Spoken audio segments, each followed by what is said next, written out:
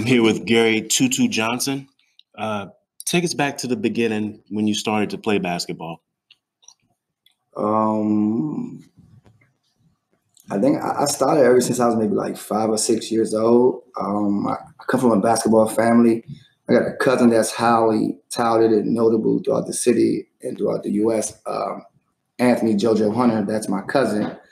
So um, all my uncles played basketball. I mean, none of them really made it to the level Joe made it. Like Joe, the most significant that come out the family. But basketball has just been in my genes, just been in my blood. It just was, it was just in me. I mean, watch NBA finals, NBA on TV on Sundays. We watch it, watch college basketball. So basketball has been my life ever since I could remember, man. Just coming out the womb. It's just everything just just just was was who. So you said you started probably around five. Did yeah. you play organized or was it did you play kind of uh, with your family, no, friends? About five, just been outside, been out back, shooting the basketball in the milk crate, basketball rim, you know, things of that nature. Then as I got kind of got older, um, playing 10 and under. 10 and under. That's when you kind of started organized. Yeah. And who'd you play for 10 and under? Uh, I was up Emery, Emery Heights Playground, played 10 and under under uh, Midge, Anthony Green. He was my first coach. Like played tennis under under Midge. So that's when it first started. Like I started to develop playing tennis under. Then I played elementary with Truesdell. I was on the elementary I was on the elementary basketball team um, with Truesdell. That was big. I used to sleep in my uniforms. so I loved it, right? Mm-hmm. And that's kind of how it kind of the process kind of got going. So you you started playing organized at Emery. Emery at that time was a powerhouse uptown for basketball. Kind of, I guess, all the way through high school. Probably a little bit after that too. So I know it's probably some other notable players that probably started with you at ten and under. Do you kind of remember any of those guys? Yeah, I do, but you know, most significant, they um, rest in peace. They're not here with us today. Um, mm-hmm. Gary Jordan and um, Dwayne Short, um, as we know them, friends and family, and it's Bam. So right, Bam, Bam and Gary, Bam and Gary. So it was just me, Bam and Gary mm-hmm. of Emery. Like you know, you hit one, you hit three. So mm-hmm. it was just us three just um, holding it down. Mm-hmm. So after playing 10 and under, I know Gary would eventually go to Paul. You went to Paul. Mm-hmm. Um, Bam Paul too? Bam went to Paul too. Okay. And but I also know you from number six. So I guess after you kind of played with Emery, you stayed uptown, kind of played some more basketball organized with number six. Yeah. But when I kind of got to know you of you, I guess it was you, Bam, and Chris Carter. Of Emery, of number six. Of number six. Yeah. So what age group was that? I think uh, that was more so like 12 and under, mm-hmm. 12 and under, and also um, 14 and under. 14 and under. Yeah. So organized basketball. Um, I guess no real AAU, more so boys club back then, more so rec ball. Yeah, I'm rec ball most likely, man. I mean, I didn't play junior high. Okay. Right. Couldn't really get the grades. Wasn't really applying myself to get the grades, but you know, and Paul was big with junior high basketball throughout the entire city, won the championships, things of that nature. So if you make it playing for Paul basketball team, man, you you was you was somebody, mm-hmm. right? Mm-hmm. Great coach Dwight Robbins, you know, teaching discipline fundamentals, and we're winning. You know, you play with Paul, man. You know, watching some of the practices, you, you wanted to be a part of that because it, it was like it was real basketball, right? Mm-hmm.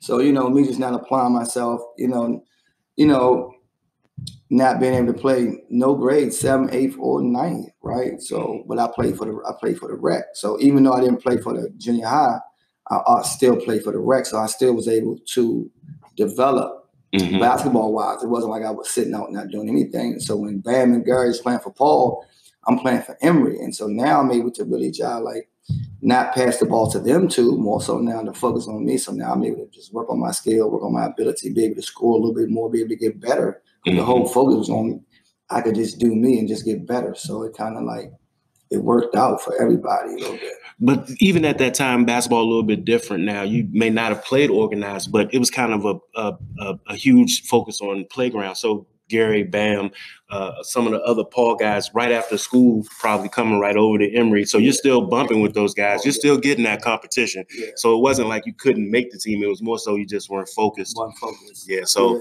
yeah. and uh, Emery at the time was big, man. Like mm-hmm. I mean, I'm gonna tell you how big it was. I used to cut seven period just so I could be the first one on the court.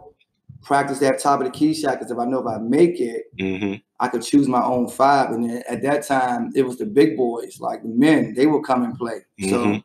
you may not get picked up. But luckily, I was pretty good, you know, skill wise, that they would pick me, Bam and Gary up. We would play with the big boys, right? And so I would just cut seven period, make about 50 top of the key shots. So when my turn came, You was knocking it down. I was knocking it down and I picked my five. So I know hmm either I was going to play and then I had the best basketball. So even I'm going to play, I'm going to take my ball. And you out of there.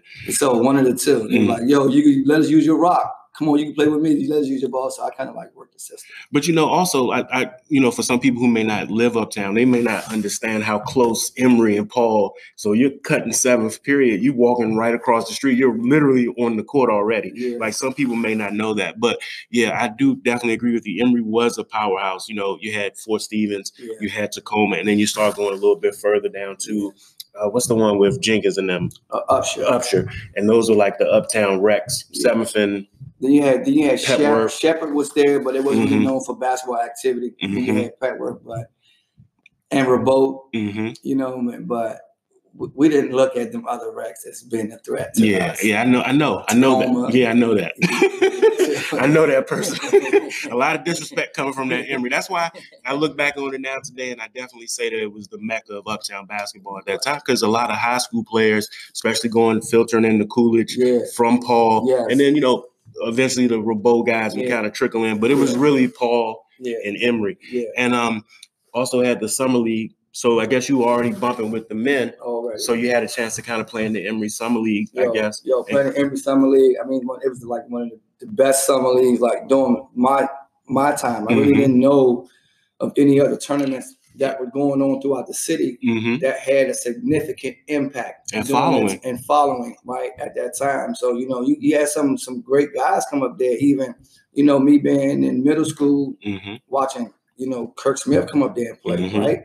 Watching him come up there and do his thing, me doing keeping the scores table, me keeping the book or keeping score, and just be able to watch first class basketball, just be able to learn just by watching guys. because back then it wasn't the, there was no Barry Farms. Yeah, I mean- well, there was a Barry Farms, but it It wasn't wasn't- the Uptown Tournament. Emery driving down Georgia Yeah. Avenue, seeing the crowd on the hill, looking down. This is Yeah, yeah, before the yeah. new court. yeah. That was a real experience for people who lived uptown. Yeah, and I, and you know, invest and, and to my knowledge, you know, I always heard that Berry Farms was there, hmm but it was a, a in It was more community it thing. was, it was Mhm. community based um, summer tournament, right? I mean, that's the knowledge that I kind of got from it, hmm right? So, but you know, as, as we know, it, it grew to be Oh, absolutely. something. And Emery kind of shut down, Yeah, which is crazy because now they have that new full court and they don't use it for summer league basketball. And that to me is kind of they could bring that back. So you are at Paul, you leave Paul, graduate. What's next for you? Um, well, one of the guys that lived uptown from uptown was uh, was assistant was assistant coach over McKinley. So I'm playing up the rack, I guess, playing outside, whatever was going on. So, and he sees um, me play, and then he like, "Yo, you going to Tech?" But but long and behold, really, I come from that side, Right right? So I grew up on that side, on the northeast side. 22 T Street. Okay. So that's my family house. And my cousin was like that. Rest in peace. He went to Langley, was like that. Uh, played at Tech. He was like that. And honestly, I mean, to be honest, to keep it real, right? I mean, like he said, job kick my butt. hmm So I said, take all his moves and go uptown with it, hmm right? But people in the city kind of knew my cousin to play. Greg knew him. Every people knew him, right? Mhm. So flute with the spin on. So really, on the weekends, I would go to my grandmother's house and he he would hand it to me a little bit, and then I would go uptown Mm-hmm. and give it to them. So the same thing he do to me, I would do to them. so you so Mhm. you follow what I'm saying? And every time he's like, "Oh, you nice, you nice, you nice," and I should always tell people like, "Yo, hmm you got to see my cousin." Your cousin. You know, you know, you know, you know what I'm saying. And so the coach seen me like, "Yo, you can go to Tech X, Y, and Z." And then my grandma was against it. She's like, "Oh no, I ain't having you come over here," because you know of my experience with Paul and academics really wasn't working well at the time. And she was like, "Oh no, nah, I don't need that headache." But long story short, to McKinley, played summer league, played did really really well. Played varsity, tenth grade, started in the 10th Mhm. actually because my cousin had the grades first half, so I flew in started as a 10th grader and that's how I got to tech my 10th grade year. So I, kind of want to go back. So I, I know how close you, Bam, and Gary were. Mhm. Was there any, ever any talks of y'all possibly playing in high school together? Because I know Bam Cardozo, right? Yeah. Gary Coolidge, you tech. Gary went to Rose. He went to Rose first Yeah, Gary went to Rose, and then Gary Rose wasn't working out for my thing. Then Gary did transfer to Coolidge, to, uh, to a Maryland school. and then Coolidge. I believe so, right? Or probably went to Coolidge first. Didn't like Coolidge. Mhm. Then went to Rose. Then went to Maryland school. Mm-hmm. Didn't like the Maryland school, and then came to Rose. Mm-hmm. You follow what I'm saying? Mm-hmm. So, uh, but no, actually, it was supposed to because we dominated so much with the rec ball, me, Bam, and Gary. Mm-hmm. The focus was us coming up to Paul Okay. and then doing that thing, right? So I Mhm. don't. I think the only one.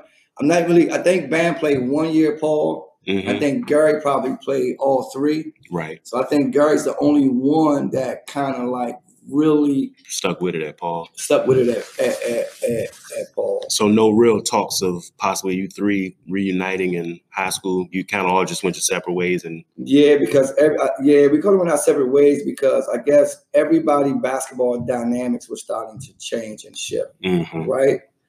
And um, I think, to be honest, like my my focus was straight basketball. Mhm. So whether I played organized middle school or not, junior high or not, my basketball it was was was my my focus on hoop was was was was was key, right? yeah, Well, I didn't have like other distractions that maybe them two probably had faced, right. right? hmm And so I continued to get better, hmm get better, and get better, and then I guess came to a point where, you know, my game and my focus was a little bit more was was was starting to grow more than The other two. the other two possibly. So yeah, at McKinley, freshman, uh, excuse me, sophomore year, you start Yeah. 11th grade year. 11th grade year, the coach got fired. Mr. Steve Mano got fired of Tech. And, by that time, we already had moved around 21st, Okay. 21st and I, right? And then I was like, well, I'm going to go to Spingarn because my cousin was at Spingarn. hmm So, funny story. I'm over there. So, I knew that the coach that just got fired, his brother, Wesley Milam, was coaching Spingarn. hmm So we just could keep it all in the family, right? So he left me in the gym for like three hours, two hours. He was like, yo, give me a thousand passes on a toss back machine. I'm like, what? I probably did maybe like 50, trying to get Mhm. better, whatever the coach say. And I was not doing by myself. I like rolled out. I said, nah, uh, uh I'm Yeah. going to Phelps. So, so you went literally next door instead of Spring. And Phelps wasn't really known as a powerhouse. as a powerhouse at that particular time. Not But at that time. during that time, though, that time. you, I'm sure, I, I remember you kind of helped shift that. So let's that talk time. about that. So 11th grade year. Yeah, and so I didn't play 11th grade. Actually, me and the guy on the team, right? You know, kind of got an altercation. You Mhm. know, got an altercation. So I kind of, I kind of, the coach kind of favored that guy hmm because I guess he was a star player at the time, hmm right? And so, and I was like, well, guess what? I ain't gonna play varsity. I'm gonna play JV and just average 40. So you played JV in the 11th He didn't let me play JV. He said, no, you can't play JV. because you played varsity at Tech, right? Yeah, but he was just saying I couldn't play JV, period, if I wasn't playing varsity. Varsity. Oh, okay. So he kind So of he, blackballed. he, he was fake. yeah. right? you know, so didn't play 11th grade. But what happened was I played on number 14 boys club. Mm, So when I used to go over there and play sparingly, and then Neil from number six hmm had went over number 14 as like their director. hmm So when I go in there, I know Neil, hmm right, from uptown. And then I'm playing in the general movement. So Neil like, yo, too, you got to play with us. You're not playing, come play with us. So I had a great coach over there named LeVay, took me under his wing, picked me up, go to practice. And now this my 11th grade year. This was one of the best basketball experience I ever had because we had guys that could have played on Interhigh teams Yeah. From all parts of the city, especially on that northeast side, Simple City, Kenilworth, hmm Mayfair, hmm right? Uh, Paradise, Minnesota Avenue. I'm talking about these guys can do it, But they just may not have had the grades or whatever the case may be, right? And we were all on one team, hmm number 14 boys club. I think we was playing 16 and under. And we was the champs. We beat everybody. We would beat some high school teams. Yeah. Yo, I mean, as the term they say, cliche, we were about that life.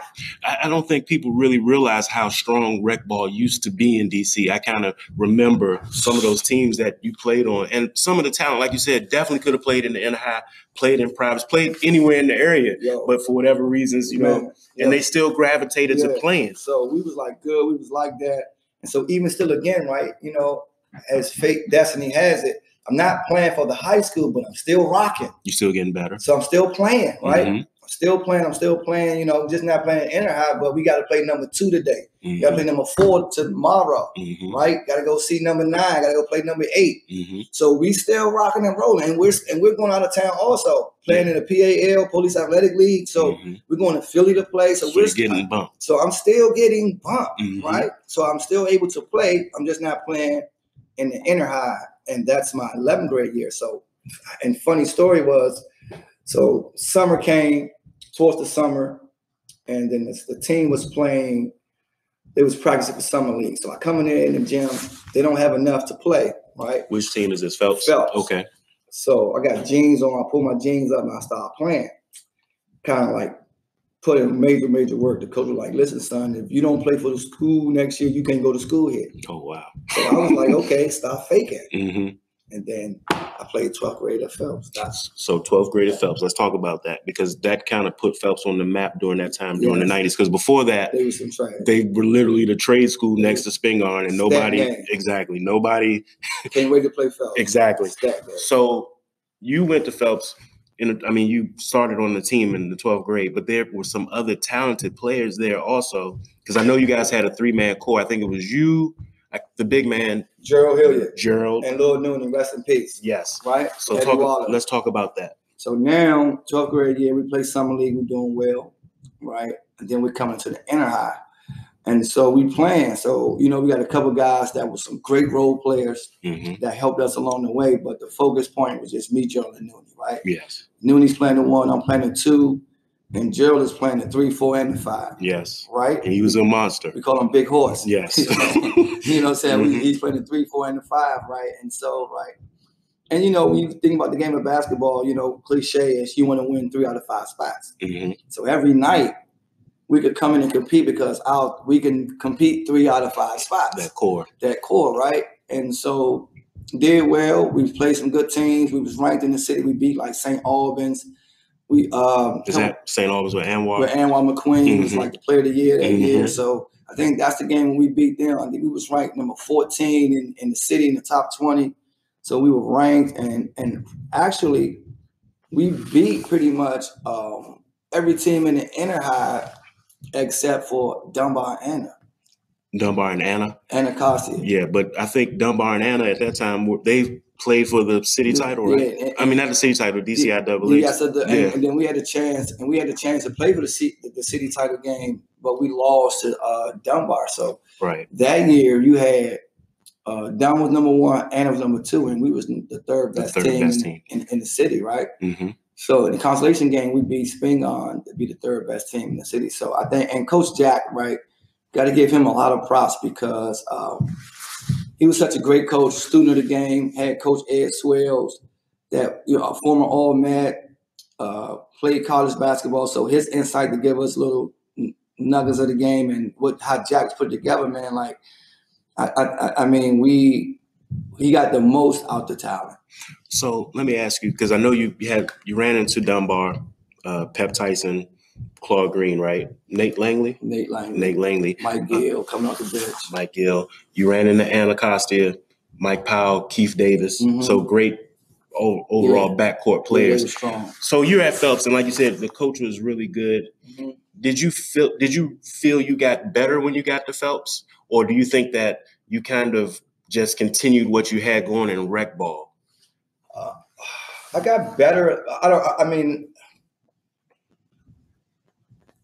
it wasn't the fact that when I got the Phelps, I got better. hmm It was most when I got the Phelps, I was starting to showcase my talent. Oh, you had a better opportunity, a bigger stage. Yeah, I'm showcasing, right?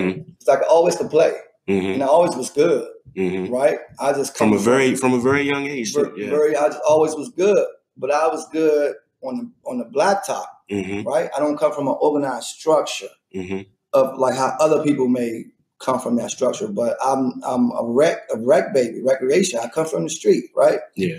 So I come from the gate. So I just always can play. But now when I get to Phelps, now I'm showcasing my talent, right? And so Mhm. you're talking about a kid that really maxed out his talent one full year, 12th grade year. So I always sit back and say, yo, you know, what if I played three years? Yeah. Three Right. straight years of the same environment. Three straight years of the same environment, just three years of just Interhigh basketball, right? Mhm. Started on the 10th. I think that 11th grade year, for real, for real, right? The 11th grade year was been big for me, Mm-hmm. Right? Mm-hmm. Because the thing is, even though I still was playing, but if I'd have played that 11th grade year and had a pretty good year, 12th grade year, man, it'd have been a real live issue. Yeah. You, you follow what I'm saying? It, absolutely. it would have been a real, it would have been a real, real issue. Now, 12th grade, you know, did good. I averaged 18, right? Mm-hmm. Average 18, but I'm just saying, you know, even if I would have got that next year in, developing got better, I man, I could have easily probably added an extra seven, probably could have averaged 25, Mm-hmm. 20 to 25, right? Mm-hmm. But still was able to max out the talent. And, but we did good, man, for that senior year, put Phelps on the map, little old Phelps, and people respected us and they knew when we came, It was a fight. it was a fight. We It got, a we got fight. Nooney, you know, we got Nooney from over 58. Yeah. right? They ain't number point guard central over there. Yeah. Point guard you over there, right? Some of Mhm. the best point guards in town that can handle that rock come from that side. And he could do all that too. Yo, you know, Mhm. and he and he and he had that thing with him, right? he did. So boom, then you got me coming from uptown, right? Got the uptown game and all that, moving over 21st, getting that other element, that mental element, like we not playing no games, man, just like straight to it, Mm-hmm. like tie your boots up and like let's get right to it Mm-hmm. right?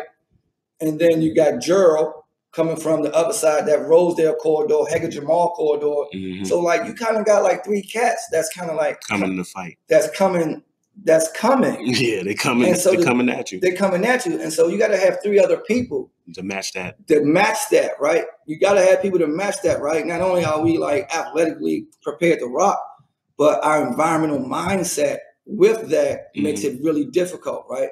And so other teams that didn't have it, we could get them. But when it came to Dunbar and the Collins, they were very well coached A lot of talent. and they had max talent. They had the best talent around, Mhm. right? And so it's just the fact that we wasn't powerful enough To to see them. Yeah. So we had Dunbar on the ropes twice. We had Dunbar on the ropes and Phelps. We had them on the ropes, mm-hmm. like going smack at them. Like it's on. Mm-hmm. Mike Gill come off the bench, score 20. Is was he a junior? Yeah, no, he was a, a He sophomore. was a sophomore. Mike come off the bench, go for the dub. Mm-hmm. That dub killed us. Yeah. That cracked the game open, right? I'm just saying, right? Mike come Mhm. off the bench and then keep it one. And then we playing Anna. You know, it's okay. It's cool. We, you know, we run a little bit, but we didn't have an answer from Mike Powell. Right. I mean, we just, I mean, Mike Powell, Yeah. we didn't have an answer, right? I mean, Mike's I don't think too many people did. and they have an At that answer time, for him, have an man. answer for You know what I'm saying? Like, Mhm. like, like, you know, all the other people, you know, they were good. They played their role. They Mhm. contributed, but I mean, we didn't have an answer for Mike Powell, man. So 12th grade, any accolades coming out of Phelps? Oh yeah. So at my time I come out of Phelps, I was the uh I made all Interhigh, Mhm. right? I made all Interhigh. And for Phelps itself, I was the most valuable player Mm-hmm.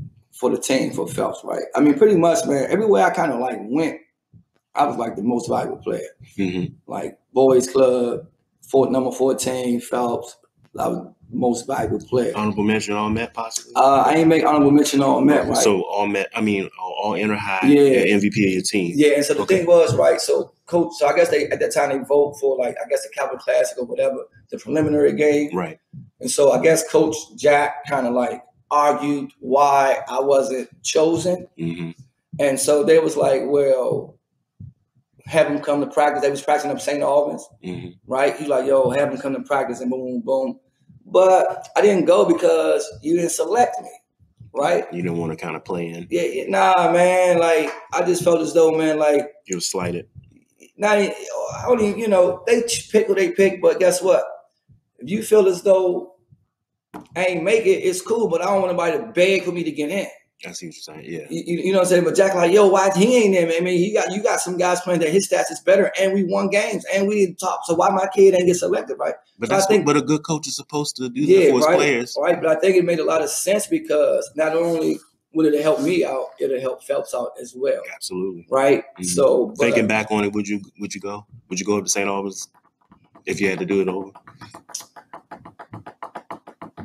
I don't know, man. I don't know because you know me, I'm a different breed, right? Yeah, you are. So, so, so. Uh, since you were young, you you you you're definitely a personality that I've always remembered since you were young. You've kind of always been this person. Yeah, and it's and it's funny because you know me and Jones was talking about that because you know we had when we was up Emery, mm-hmm. me, you, Jones, and Mo. Mm-hmm. You you you basically were the same person you were when you were little, and you got me out of my character in an yeah. argument with you in that debate about Greg. Yeah. And me and Jones was talking about that. I was like, that's what two do. And he was like, that's right. That's what he do. I was like, damn, he got me. Yeah. so, so, you know what I'm saying? And with me, man, for real, like, you know, what people really don't understand, like, I, am big on integrity, man, mm-hmm. right? Integrity and dignity, man. And I'm not really going to compromise my values right? That's you, just you've been like that for a long time. Yeah, man. And whether and a lot of times, man, you know, it could get you in trouble, right? Yeah. Or, or not because people don't know how to necessarily accept it. Yeah, not, not, necessarily accept it, and they don't they don't really see where you come from. But man, you know, not to get off subject, man, I come from a different place. Mm-hmm. You follow what I'm saying? So mm-hmm. things of that nature is dear to me. But by them not selecting me, I'm like, yo, y'all didn't choose me, so man, I'm good. I'm a, I, I, I'm I'm good, right? So I was coming with some of the guys that that they did select it that I could I, I don't want to say that I was better than them, but I know I could compete with them. Right. Right. So which which was cool. Then left Phelps and well hold up before we move on. No regrets with that. Mm-mm. But I just before we kind of move on from Phelps, I, you're a person who spent a lot of time uptown. You're a person who spent a lot of time on the northeast side. Mm-hmm. Do you see a difference in basketball played uptown at that particular time and basketball played on the northeast side? Do you think it was a difference, or do you think that it was basketball in the city was kind of just all the same? I, I, um, basketball was the same, mm-hmm. but, but mm-hmm. right, but right. Not saying one plays go harder than the other plays, mm-hmm. but going on the other side, mm-hmm. the it, northeast side, the northeast side, right? I think because the thing is, right, basketball is personality. Right basketball is personality. That's what I come to know, right? Basketball mm-hmm. is personality. Basketball is identification. Example: Serena Williams. Her personality dominates tennis. Right. Right. So uptown, you you you know the way you live, mm-hmm. life is good. Mm-hmm. You don't have no issues. Mm-hmm. Right. So you, is is that true? I, I mean, I know what you're saying. The issue's not the same coming from all, from the other side. Some of the other side, right? Yeah, from the other side, right? Because I've been on both sides, right? Even mm-hmm. though we still got some of the same little issues, but but it's, it's, just different. It's a little different, it's right? The mentality it's is a little different. It's, it's, a little bit more. I, I mean, a little kind of extreme, mm-hmm. right? A little kind of kind of extreme.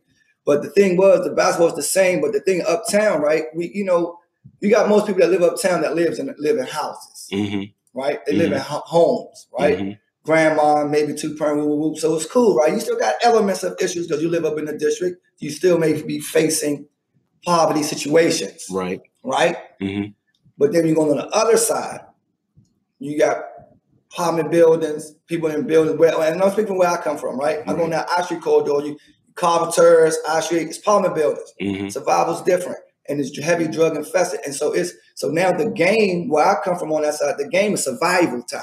Right. It's a different mentality. It's a different mode. People go a little bit harder. People go a little bit harder because it's, it's survival time, right? Mm-hmm. Right. And so, so, so, so my mindset and the way I rock and roll is based upon survival, right? So that's that's the thing, and that's the misconception with people thinking they say like, well, two is aggressive. Mm-hmm. Man, you knew me outside of who, fairly not aggressive. Mm, but, but, on the court, yo, in between those lines, yo, mm-hmm. yo, because what I've seen and what I've come through, man, it's only one way to go. It's you have to survive, right? Mm-hmm. And then so I kind of like transferred that mindset over to the court in order to succeed. And let's take a quick break because I kind of want to go back and I want to talk about that that that experience on the other side. How did that help kind of propel you throughout your career? Yeah. All right, just give us one second. So let's go back for a second and just talk about you know some of the survival instincts that you kind of got on the other side of up from not you know when you were living on the other side, not necessarily in uptown. And how did that kind of propel you, kind of not only in high school but then in the college? that survival mode? Yo, I, I mean, it's like, you know, it's just if I can soften this term up with this phrase, if I can just soften it up, you know, it's it's it's the old cliche. It's like kill or be killed, Mhm. right? And and the expectation on the northeast side, you know, it was there's only one way to go. Mhm. It's only one way to go, man. It's no middle, right? So you go, you you you you you you go, you go, and then they expect you to go. Mhm. If you in the mix, man, ain't no tuck your tail. It's no tuck your tail. It's no looking away. No it's, ducking. No it's, ducking. it's, it's- man, it's no ducking, right? So it's like it's only one way to go. And then on that side, right, you you you you're favored by the stripes you earn, right. right? And them stripes can be all different kind of stripes, right?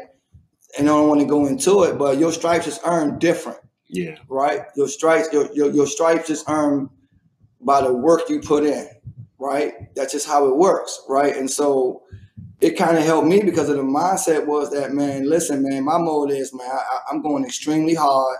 Doesn't matter who in front of me, and it's it's it's like let's get to it. So you had that at an early age, that mindset, Yeah. kill or be killed. Yeah, So I, I've always wanted to ask you: Do you think that because I've talked to Jones, and Jones thinks that he was he's actually just he was born talented. Mhm. he was. He was born, but I've always wanted to ask you: Do you believe you were born talented, or are you a product of hard work, like just flat out? This is what I'm going to do. Dedication, hard work. Get in the gym. Get on the court. Keep going. Work, work, work, work. Like, how do you Oh, view no, yourself? hey, no, like despite the game being in my blood and my DNA, right? And I tell people all the time, right?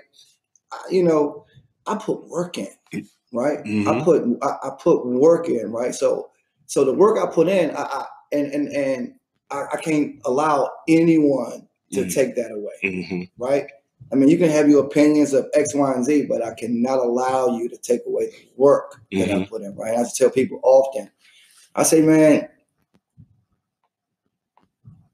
Greg is gifted, hmm but I had to put the work in, Right. right? But the work for me was was needed to be put in just for other areas, right? hmm Because for me, but this process, what I was told later down the line by coach, we probably into it, but I just was a worker, hmm right? I just wanted to work. I, just, I wanted to get better. I wanted to get better. I wanted to get better. I wanted to get better, hmm right? And so it just, I put the work in, Slim. It wasn't easy, you know. I, you know what? With Langston Hughes, life for me ain't been no crystal stair.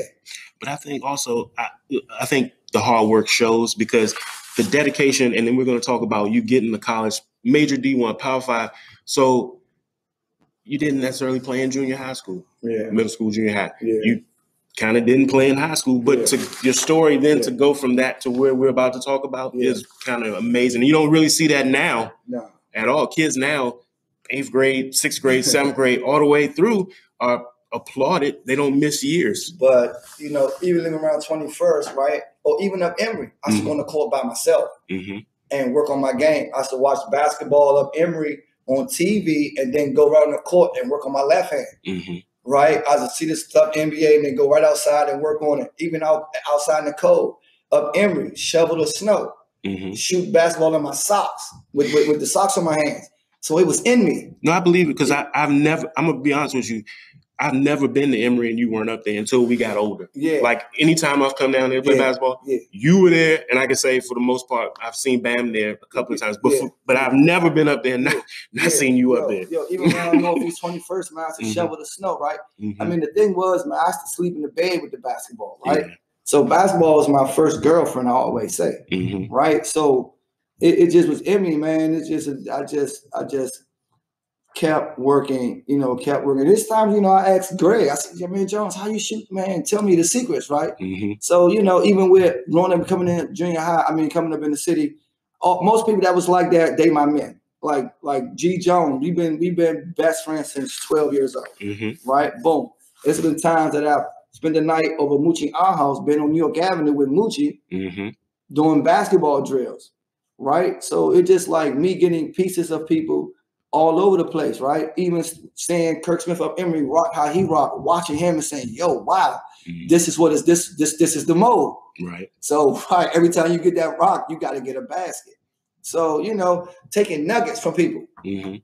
you know, taking And, nuggets and then putting the work in. then putting the work in and putting it into my game and creating my own identity, not playing like the next person, but putting them into my game and creating 2-2. Right. You follow me? Exactly. So Phelps is over. What's next for you then? What do you do? So I get a scholarship, right? They get an offer from Odessa College. At that time, I think Moochie's already at Odessa, right? Mhm. So I get Odessa College. A pop, very famous JUCO. Yeah. I think Larry Johnson, Yeah, Odessa. Larry, yeah, Larry Mhm. Johnson, Odessa. Texas. So Texas, right? Texas JUCO basketball kind of big. So Odessa hollered at me. Coach, I forget his name, sister coach, black guy, hollered at me. Woo. So I'm like, okay, cool. And then another school came in called Frank Phillips, JUCO or JUCO, Okay. Borger, Texas, right? JUCO. I didn't, you know, we don't, we don't really, we didn't have internet, really couldn't do research, so you Mhm. just take somebody's word. So the guy from Frank Phillips come, right? The guy from Frank Phillips come and say um, that he wanted, he like wanted to give him a scholarship. So I'm talking to him. So I'm like, well, I might go to Odessa. He's like, Odessa, some trash. We beat Odessa every year. Woo, woo. So I'm like, whoa, really? I, I, I don't have no way to know. no, you don't have a way to validate I that. don't know where to validate that, right? I don't where to know him, right? The man comes to the hood, comes to the house, me my mom, X, Y, and Z. We walking down the hood, guys in the hood yelling out, to that the police. I mean, they don't that's Mhm, mhm. say anything, you know, of different ethnicity. hmm That's the police, right? Mhm. Right? And so, you know, I'm yelling back right now. It's the coach, but so I wind up signing with Frank Phillips. And once I told him that's the coach that I signed with Frank Phillips, he like, why would you do that? hmm He like, they're the doormat of the conference. Oh. I say, whoa, wait a minute. hmm I'm locked in X, Y, and Z, right? So do a year, do a year there, uh, do a half. I don't even do a year there. Some some situations happen, right, at the school with some guys that's from the area that's you probably wouldn't know, right? At Frank Phillips. At Frank Phillips, right? Okay. Situation happened, right? And so I was kind of sick. I was like had like the flu. I was kind of sick. So um, I was in my room sleep. So I kind of wake up looking for everybody, right? So some of the guys is in there, you know, being teenagers, probably they're not making the right choices. Right. Probably you know smoking marijuana. You know how how it goes, and right. So I guess the resident hall manager, the people who's, who's monitor the dorms, smell the smokes coming in here and like see everybody in there, Mhm. right? So boom, off the break, you know, I, I wasn't smoking. I'm sick. Woo, woo, woo, woo. So right. So they're like, okay, Gary, come out X, Y, and Z.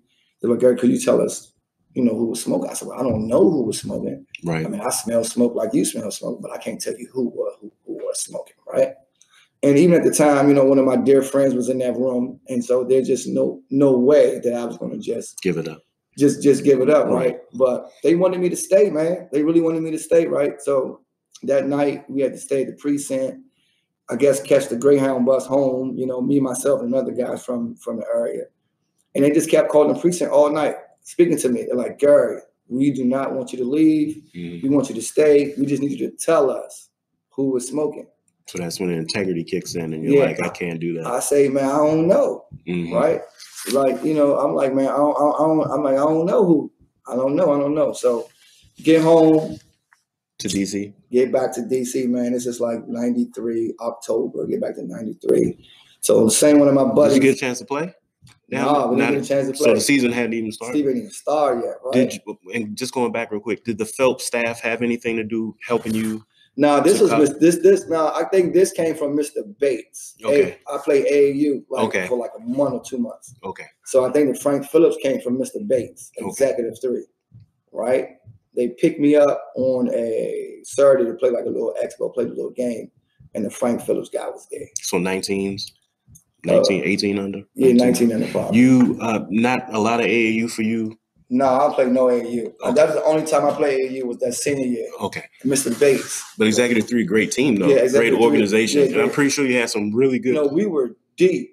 We oh, were, is that the summer when y'all went to Hampton? Yeah, yeah, but at that time I couldn't make it to. Oh yeah, we played against Iverson. Yeah, me and Jones talked about that. We Yeah. gotta talk about that. We to, we, went, we, we yo we we we went we went to Hampton. Hmm That was an experience. Yes. That was crazy, right? So Jones, let me just tell you what Jones said first. He said AI wasn't giving him 62. He gave everybody 62. He said he gave the whole team 62. That's I, I could go with that. Okay. I Did you? Because I know you love the strap. Did But you I, I, I jump out there? up no question, right? The whole kick what that is, like I'll tell anybody, like even then and now, out out it's 63. Out that 63, I got probably 12 of that 63. Mm. At least you're honest. Yeah, Jones I'm- Jones doesn't remember at all. So Yo, like so no, I'm a, I'm gonna be very honest, Mhm. right? No, no, no, no, no hot sauce, no mama sauce, just straight what it is. hmm I, I've been saying that since 1993. hmm So I, I, I've I've got 12 of that. So just just thinking back, did you think that he would become? Well, Did you see that in him, or did you just think he was just a, no, you high saw school phenom? No, you kind of. I mean, you saw the ability. We didn't know who the guy was, hmm right? We didn't know who he was, but we when we got to the gym, we thought we was at the wrong place because the gym was naked. It was empty. hmm wasn't a soul there, right? So we waited like 20 minutes. So we know this guy come. He walking in first, hmm herm, gold herringbone with the diamonds like Allen. I think I'm in the lobby drinking some water. He walking, you know, us at DC Mall, like, man, who this, man? We Exactly. gonna get, we gonna get right at this dude. Right. Like he don't even know what's coming. Like Right. we coming with that sauce, right? hmm He got like 2,000 people behind him. The man is like Moses. Yeah. He got like 2,000 people behind him. He walks in the gym. He got like 2,000 behind him. But he got some other guys that play Major D1. Yeah. Uh, Tony Rutledge, Wake Forest. uh, Damon Bako, University of Alabama, hmm right? Some little big dudes that probably went to Virginia. That Boo Williams. Yeah, yeah. So so they had a nice little mob, right? And we had a nice little mob, and we were we were stacked too, though, right? So you, Greg, who else on that Uh, team? on that at that time, you know, our original team, we, it, was Mike, we had like three starting fives, man. You had when we first started, we had Mike Powell, Mhm. G. Jones, hmm uh, Big Phil with the Penn State, hmm Joey Beard with the Duke, hmm South Lakes. South Lakes, Mhm. Khalid Shakur, Mm. Oh, from Blair. Blair, Right. myself, hmm Pep, hmm uh, Greg Williams, TC Williams, Yeah. all another all man player. he was a bucket for TC Williams. That's yo, I'm, I'm just saying, right? hmm So Y'all was this- stacked too. Man, this is stupid stack, right? hmm Mario Williams, Largo, Yeah. Arnett Young, Largo, hmm uh, uh, uh, Boom. So we we we we we were who we had like three fives, right? We had like three starting five. We were we were deep. But this team, I know, was me, Greg, Big Lonzo Golston, that won the championship with Pep at Fort Hays State, hmm right? D two, right? D two, he's Yeah. from DC, right? Six eleven, and so um, Mario Arnett, and I can't really remember. Uh, big Lonzo, another big another Lonzo that went to University of GA, went University of Georgia, hmm right? And so, but we go in the gym. It's he comes in there. We don't know what's going on, and the thing with Iverson really was it wasn't it wasn't like his J was splashy X Y and Z. He just was running all over the place, athletic man, Speed. speed. I'm talking about and bouncy, hmm right? And that's the time where I've really seen a guard get bouncy. Yeah, because we didn't really have a lot of bouncy guards Uh-uh. in DC at the Uh-uh. time. And even still at that time, bouncy wasn't wasn't looked at like as a guard you must have like today. Yeah, Today's guard, you gotta be bouncy. more crafty back then. Yeah, more Mhm. more self crafty. Give me a basket, right? Mhm. But he was running around just real, real retarded fast, real fast, and bouncing, Mhm. getting yams, catching off the rim, dunking, leaning. I mean, for real, for real. He the reason why I kind of started getting my get my legs on get, your- get, get my bounce Working on your together, ups too. right? Yeah. So, you know, it wasn't the fact that he just was splashing slim. He was athletic. He was freaky athletic. And he had a little bit of bounce, man. And so, right, it was the first time that we kind of laid eyes on him. But he respected us Right. because we was about that life, though. Going going at him. keep the story real. We beat them by 20. You did. You did. That's in the post. It's Yo, in the post. Yeah, we beat them by 20, right? hmm Keep the story real. We beat we beat them by 20. And we had that cross going out there. Right. We, we, we had that yam going. And then so we would set picks. He didn't have that then. No, he ain't had that thing. So we would set picks for him to get on Jones, for him to check Jones. hmm And he ain't want he, you know, as the young team say today, he ain't want no smoke. He ducked it. Did he He duck ducked it? it? Yeah, he didn't want to get on. He didn't want to get on Jones, hmm right? So we like, yo, get over there. He, hmm he ain't want he, you know, he ain't want no action. And I always say, first play of the game, jump ball. The guy was on me. Soon I grabbed that thing. I threw that big cross left and right. Yeah, yeah, baby, right? Hit him with it. Of course. So what we do at that time, soon you get that rock, you throw one. Yeah. Let somebody know where you at. Yeah. Rob, let you know, man. You Yeah. Some of y'all used to play around with people like that, just passing Man, back and forth, man, snatching. bing, bing, bing, my Yeah. right? So and so he knew that we we we we had that work, but he was a special talent, and he was a special. He, he was just a special talent, right? We never really seen anything like that in DC at Yeah. that time. of that nature, right? Mhm. So he just was a different breed. So you you're back home, uh, October. You said Back home, October, from right? So from the JUCO. Frank Phillips, Okay. right? So the guy I'm with, my man, my, one of my best friends, right, who I'm with, Black Mo, right? So Mhm. his mom's like, she's going to Florida, so my mom don't want me to stay up, stay around Northeast, right? So she's like, go to Florida with him, X, Y, and Z. So at that time, Mr. Bates called where Greg was at, Jacksonville. Mhm. Right. another Texas JUCO. Jacksonville, right? Called Jacksonville, and boom. And I get and in January of '94, I, I come home to back to DC for a little bit from Florida, and the next like two weeks I was out to Texas, hmm caught the Greyhound to Texas. So when you go to Jacksonville, you play two seasons. I played. I, set out one year, right? I set out that half a year hmm from because that team was loaded down. They had Lamont Gundy Yeah, there's a lot of DC people out of too. That I really, really respect, man. That he was really about that life. I mean, I mean, a lot of people don't say his name, but man, this guy was was like that. Then they had Troy Wilkins out of HD Wilson, you know, Troy like that. Mhm. Then you had G Jones, right? Mhm. Then you had some other guys, and and at that time, Jones was coming off the bench like six man. Jones was coming off like he was heating up. Yeah. He was heating up off the bench, right? He was a six man, right? Because they had some other guys from New York that probably was there before Greg that was sophomores, right? Right. So, so I sit out that whole year, work and get better, playing my man Lamont Gundy one on one. You know what I'm saying? Working on my game, working on my game, and then that that fall, I'm eligible to play. So I'm a freshman. I'm eligible to play that freshman year, Mhm. right? So that freshman year, we had another guy come down from DC, Melvin Crab House, and so he goes to the one, I go to the two, hmm I go to the three. I mean, Greg go to the three, and then we we played we played pretty good like that year. So So was that one full year? that's JUCO? one full year JUCO. So I, I made all I made all freshman team, right? Mhm. East Texas. I made all freshman team, East Texas. But the coach get fired. Okay. The coach get fired. And then from there, Mr. Bates make another call. I go to Brown Mackie, Where's that? Salina, Kansas. So you go to Kansas. Okay. And so now, right, Is this a sophomore year for you? sophomore year, Okay. when I go to Kansas,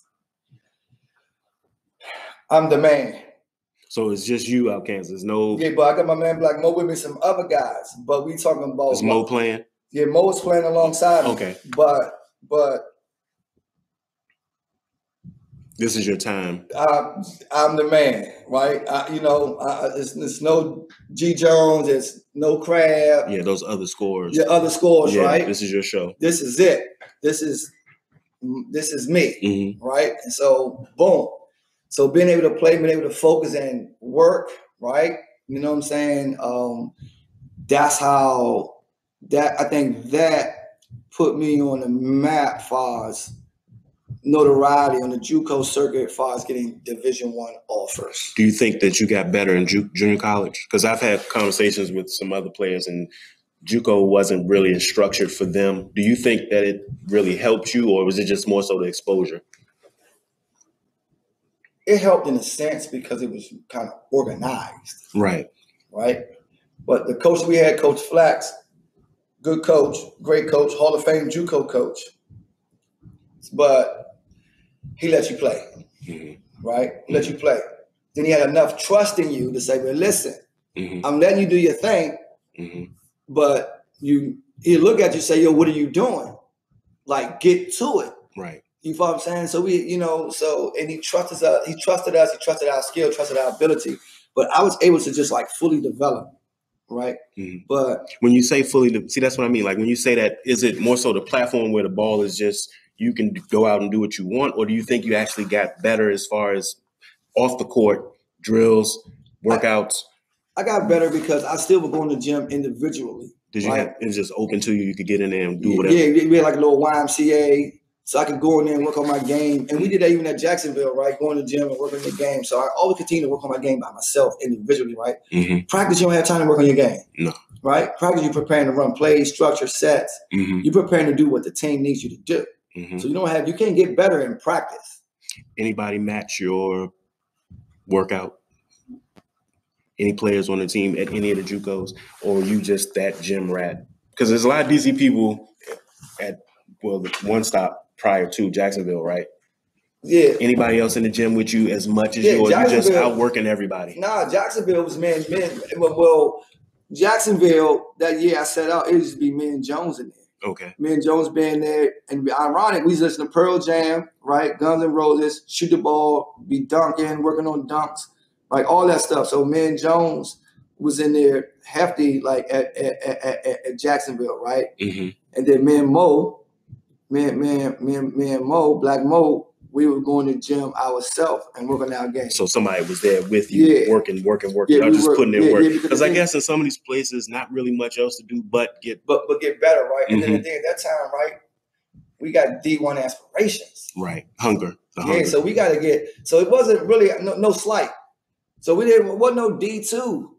that wasn't a thought. Nah, Yeah. because you got we got Moochie's at Auburn, Yeah.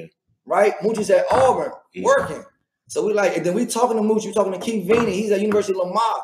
We see our we send our peers hmm on TV, hmm and so we yelling, "We next, man, we next." A lot of people don't remember Veney went to Lamar. Yeah, a lot of people we- remember him from, uh, from Marshall. He Yeah, University of Lamar. he did. Went to the University of Lamar in Texas, right? Mhm. They was the ones that was recruiting me. hmm right? So so so we like yo, we next. So we trying to get in the gym and prepare to to to You could taste it. You Yo, knew to- it was it to- was to- there for you. yeah to, to to be next, right? So the whole dream is like get the D one.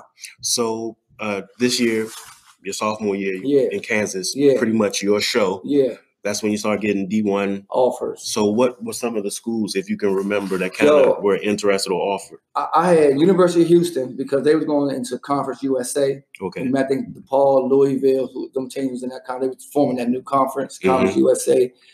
Um, Lamar was one of them. You know, they had Veney there. University of Baylor was that Big 12. hmm right? Um, Seton Hall was a good one that, that I had that I really considered, right? Back on the East Coast. Back on the East Coast, and then Mhm. the people can come see me. But I'll tell you why I chose the school I chose, and then it was SC. So it was Houston, Baylor, Lamar, Seton Hall, and SC. hmm You know, you know what I'm saying? I had some other little schools, but I mean, like South Alabama, all those things of that nature. But uh, Y University of Wyoming, hmm probably Colorado, Mhm. like you know, because I'm in that Midwest. Right. So I'm getting all that Midwest action, Mhm. right? And so George Mason was recruiting me heavy. hmm You, you, you know what I'm saying? American was recruiting me heavy. Back back in the area. Yeah, American them schools recruit me, but I figured that really no slight. I wasn't going nowhere near them kind of schools. You know what I'm saying? I was Yeah. going for the Yeah. the, the, the, the, the gusto. But Houston was intriguing. The, the, the assistant coach at the time, the recruiter, uh, Mr. Kirby, was man was a good guy. Came to come see me, develop a great relationship. So I really, really, really considered um, University of Houston. Right, really considered it. And, and and Lamar, I really wasn't going to never go to Lamar because I just think that that I I, I wanted bigger than Lamar. Right. No slight to Lamar Right. right? I just wanted bigger than Lamar, right? Uh, Baylor, even though it was in the Big 12, at that time, Baylor was a doormat, Okay. right? They was a doormat. Like, they're not the Baylor up today, Right. right? And I ain't want to go there and just be, just go get my head bashed in Every night. Right. every night. You know what I'm saying? But at the time why I chose Baylor, I was giving consideration because at that time I was thinking about going into medicine. hmm And at that time, Baylor had one of the best um, medical schools in the country, Mm. right? hmm And uh, Seton Hall was really appealing, right? Big East. We grew up watching the Big East, right? That's what we know. But then I was like, well, you can find me on every corner, right? Back on the East Coast, East Coast guard. You can. Yeah. I you mean, don't really stand out on this. Right. you, can- you can find me anywhere, right? But then I, I, SC was major. Scott Alexander, the scout, recruiting me was heavy. Rob Alexander liked me a lot. And I was just like, well, which the the, the, the, the, the, the decision became strategic because I was like, well, guess what? If I go on this West Coast hmm with this cross, hmm I'm going to catch everybody off guard. And you don't find a lot of people from this side going Over- all the way on that side. That's what I'm saying. So Mhm. I was like, yo, I could catch them off guard. hmm They ain't seen this. hmm and that's how I chose SC. So it was more so a, a strategic move, right? I didn't even know who, who SC had coming. I didn't know who was there, who was returning. So no homework. You just I, am going to SC, but I'm not. did I you take took, a visit. I took the first visit. That was the first school I chose to take the visit. Okay. So when I go out there, see the Hollywood sign, we fly in, and the palm trees and the weather, and then the visit was crazy. I was like, Any, any anybody from DC or that East Coast on that the only one who was on that team was Rodrick Rhodes at the time, that transferred from Kentucky, Jer- from Jersey? from Jersey. Yeah. And so he was my host, hmm right? He was my host. He's from Jersey, like yo, East Coast. woo-woo. So he showed. That's my one of my dear friends to this day. I just actually I just spoke with him like a uh, week and a half ago. hmm So and um, he was my host, man. He showed me, man, laid it down. We had a good time. Showed me the city of LA, right? And I was like, this is it. This is it for you. I didn't even And- take another visit. Head coach at that time, Was Henry Bibby. Henry Bibby. So let's take a quick break because now we're transitioning into your college days, and I kind of want to talk about East Coast kid, part of DC, going over to the West Coast. What was that experience? Was it was it a culture shock for you, or did you kind of just relax and enjoy it? Did you love it? Because everyone says Cali is laid back. So let's just take a quick break. Shit. So you're at SC now, uh, Southern California, kid from the heart of DC. Um, what was that West Coast life like for you? Was it an easy adjustment? Was it hard for you? I mean, it was easy, man. I mean, you got to think, man. You you on a basketball. I mean, you on you on a basketball journey, Mhm. right? So you chasing. I mean, your your your your your dream is coming true, right? Mhm. Your dream is coming true. Everything that you've been through, you know, is was well worth it. You got to think, man. Me coming from the rec, no junior high, Mhm. one year high school. What three JUCOs? Frank Phillips, Jacksonville, Kansas, Mhm. right? At SC. I mean, look at the journey, right? Mhm. Untraditional path, right? So No time to get complacent. It's still foot on the gas. get to the lead. Right. It's the mindset, right? Make sure mama good, Mhm. right? So um hard work is paying off. Mhm. So there's no culture shock. Out Cali, the women are beautiful, the weather's amazing. Mhm. So the good thing at the time, you know, I got a Claude Green is there. Mhm. So he's not on the team, but he's there. So he's giving me the rundown. Was he? So was he there before you? Yeah, Claude was there before me. Okay. So he was Claude Green from Dunbar. Yeah. Okay. Yeah, he was there before me. And so, but he wasn't playing on the team at the time, but he's giving me the rundown hmm of what of what's up. Okay. Right. So I do got somebody to be in my ear to tell me pretty much what's good. And I always tell a story of growth and development. I remember our AD, our athletic director, Mike Garrett, we was walking across campus and he was like, um, son, what's your name? And I said, my name is Gary Johnson. So he's like, Gary, G E R R Y. I say, no, G A R Y. And he was like, no, son, your name is Gary. Right. Oh, because you slurred the R. Your DC accent. But Mhm. right, and I, and I, and I always and I am always um, transparent about this because this was a growth moment for me. Right, he was like, "Your name is Gary," and so that's the first time somebody told me how to pronounce my name. Mm. So your name is Gary. So from that moment forward, I knew that I was in a different place. And Right. so from that day to this day, when they ask what's my name, I said, "My name is Gary." Right. So you don't slur the R anymore. My name is Gary, Mhm. right? So it was a moment of growth, right? It was the best place I could have chose because it, it, I mean, it changed my life. So SC, uh, Henry Bibby, father of Mike Bibby, is your head coach. Bibby is actually in college during this time also. Yeah, Arizona. Okay, so let's talk about what what was that like for you playing for Henry Bibby in SC. So junior year now, Yeah, junior year. what right? did your minutes look like? What did your did you start? Did you come off the bench? See, my junior year, right when I get there, it's like, you know, when I get there, you got some seniors there already before me, X, Y, and Z. You got Rodrick Rhodes, Mr. Basketball out of uh, New Jersey. out of Jersey, played Mhm. a year. Freshman of college, basketball player of the year, Kentucky, a highly touted guy, McDonald's All American, right? Then you got Stais Boseman, world class athlete out of state of LA, out of Cali. Oh, is that that's the guy from the documentary? Stais Boseman. Yeah, what's Yeah. that documentary again? They, oh man, it's like him and it's that Yeah, Crenshaw Five. Yeah, yeah, yeah, Yeah. Right. So, Stais Boseman, All American in football, hmm like that, hmm like that in basketball, Mister Mister Athlete, man, out of, out of the state of Cali. I mean, the man, right? You got Mister Jaha Wilson out of Oakland, Dave Kraus, So they, they got some juniors and seniors. They got some guys there that's they on the big time level, right? Then you got me there with a couple other freshman guys. Danny Walker that comes from like he comes from um what's the name of his school? I forget the name. Uh, West. I forget the name, but it's like a DC Dunbar, Okay. and, and he's a local kid. It's a LA school. LA school. Okay. Right? And he's a D and he's a he's a LA kid, right? So now you got them and with me, Juco, mixed a couple of freshmen, right? So now it's just like and then Bibby, this is Bibby first year, right? Okay. This is first year coaching the team. He was assistant coach. Now this is his show, hmm right? And so I tell a lot of people when I get there a little bit, I was basketball illiterate. I was basketball illiterate. And I, you know, I, I share this quite frequently, right? hmm Despite me coming home, playing at home, and killing and killing in JUCO, but when I get to D one, I was basketball illiterate, mm right? I haven't been in a situation where I was truly taught the game of basketball. I always played the game. And I was truly taught the game. So So Bibby helped you learn the game. That, I, I didn't have a choice to kind of learn the game because if you wanted to play, You had to learn. And what, like, when you say basketball illiterate, like, can you go a little bit more into detail? Like, what was it that you kind of you didn't understand? Was it the structure of playing within an offense? Was it the structure of playing with other talented people? no, no things just like right. For one, certain drills I couldn't do. I didn't.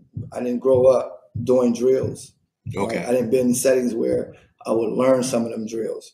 Right. Mhm. you Is know- this individual skill work? Uh, no, it's like we, we, we in practice and we Okay. doing drills, Okay. shuffle drill, whatever, footwork, turn here, turn there, turn there. Uh, I didn't. I come from and hit the rock, hit, hit the ball, and get it done. Kind of roll it out and just Yeah, go. man. See when the when the when the buzzer sounds, right? hmm So, you know, wasn't really taught. And then like being in film session, he called my name, Johnson, go to the board, draw Utah. Draw up Utah The play. to play. hmm Right. So put everybody where they need to be. hmm And I said, Well, I pass and I cut through. I Mhm. scribble, I cut through. And he say, What the F is that? He said, How can I play you? You're the point guard. How can I play you? And you don't know where no one else goes or do. So you just really ran the play for yourself. Yes. You knew you knew your movement and Yes. so. All right. So I can see what you're saying. Did, were you discouraged at any point, or were you still so focused on next level that you Um, thought you could get past that? Did you have doubts? Did you truthfully? Did you have doubts at that time? Nah. No doubts. Nah. Nah, I ain't no doubts. I ain't no doubts. I, I didn't have doubts because when we play open buck, hmm man, No, I mean not as far as the actual what you could do on the court, but I mean as far as the the liter- the basketball literacy part. Did you No, no. kind of doubt that there was the right nah. spot for you, or Nah, because yeah, because the thing is, even in drills, man, I used to hold up the drill, right? And, and I tell one of my buddies, Kwame, and I share these stories, right? I'm so transparent because the reason why I share them stories because now I'm back at my hometown, hmm and so people coaching this type of way or whatever, or the drills they may do, it's not preparing them. for the the next Uh level? uh Mhm. I, I just come through it. Mhm. I, I get it. Mhm. but that's not that's not what's needed. And so it was drills. I used to hold it, hold this up because you know you you're in a time frame, right? This practice is scheduled by time, and so I'm holding this up. They're going to extra thirty minutes so I can pick it up.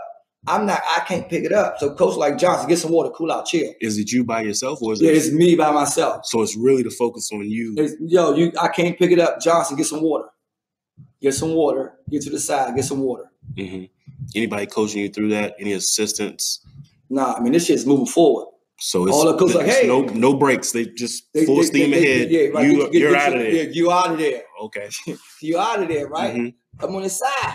So what I have to do is, you know, get the key to the gym, go in there by myself. Mhm. I say they were doing like this. They were shuffling this way. They were shuffling this way. They would go back this way. Mhm. So I would have to go in there by myself Mhm. to get it down if I wanted to play. Or even going back to the playing coach like, son, you're the point guard. You don't know where everybody's supposed to go. So now I'm being introduced to basketball, the class Right. right? So boom, it, it, the whole team laughing, they laughing, ah, they cracking up. Ooh, ooh, ooh. I'm the butt of the jokes, right? It's cool. But But, I, but you but what, the one thing I pick up from this is you reverted back to what the work. yeah, You so, and put the work in. yeah. So I get the playbook, hmm find out where everybody go. Can't wait till next time he call me again. hmm And that a week later, Johnson, draw up LA. Okay. The one's here, the four is here, the five is here, the three is here, the two is here. Come off the double screen, the four and five set the screens for the two. So now you got it. The two comes off the scare, the, the stagger. The hmm four and the five goes down, set the double screen for the three coming across. hmm I hit the two, the two got the shot, or the two hits the three coming off. hmm He say, son, good job. In front of everybody. Son, good job. How'd you feel at that moment? it was cool, right? I, was- you know where I'm from, right? It's a pride thing with us. hmm I mean, you got me, hmm but you gotta see me again. So now I'm back and I'm at my best. You gotta see me again, Mhm. right? That's what that's okay. It's cool, but you gotta see me again. That's the whole thing. So my mode was like, okay, cool. Next time I'll be ready, but I'm in a, I'm in a new arena. Right. I'm in a new arena. I'm in uncharted water. hmm right? I'm in a I'm in an arena in a realm where I'm not used to, right? And now I come from being a man where you got other guys that's the man, right?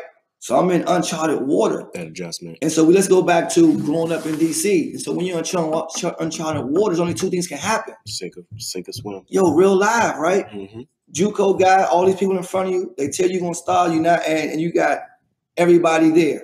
So you were told you would start. Yeah, you, oh yeah, Johnson. You know how they do? They send the letters. Yo, you're gonna start. You're gonna start. You're gonna start. You the man. Boom, boom, boom, boom. Right. hmm And I always share the story, but I'm so transparent. Right. When the season start, you know, I, I'm maybe like two steps from the manager. Oh wow.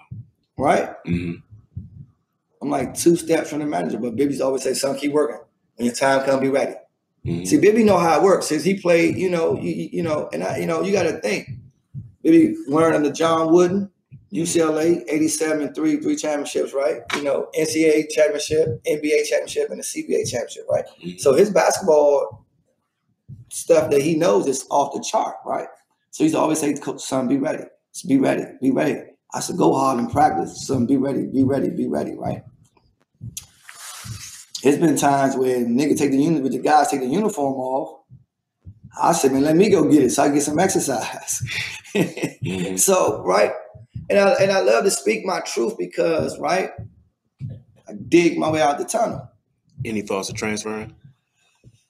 Yeah, yeah. How how far in when you started having those thoughts? Like this probably was like maybe like say maybe like October, maybe November, maybe right. mhm. Call home. so fair, fairly early yeah, in the season. yeah. I call I call home to Ed Swells, who's our assistant coach at Phelps. I tell him what the the drill was. So my thing was like, yo, I go to D two, lead the conference in scoring, average like thirty. The scouts won't see me, or I can still get to the lead, right? He's like, no, two, don't do that. Stay there, man. Fight your way through it. Give it time to work. hmm Stay.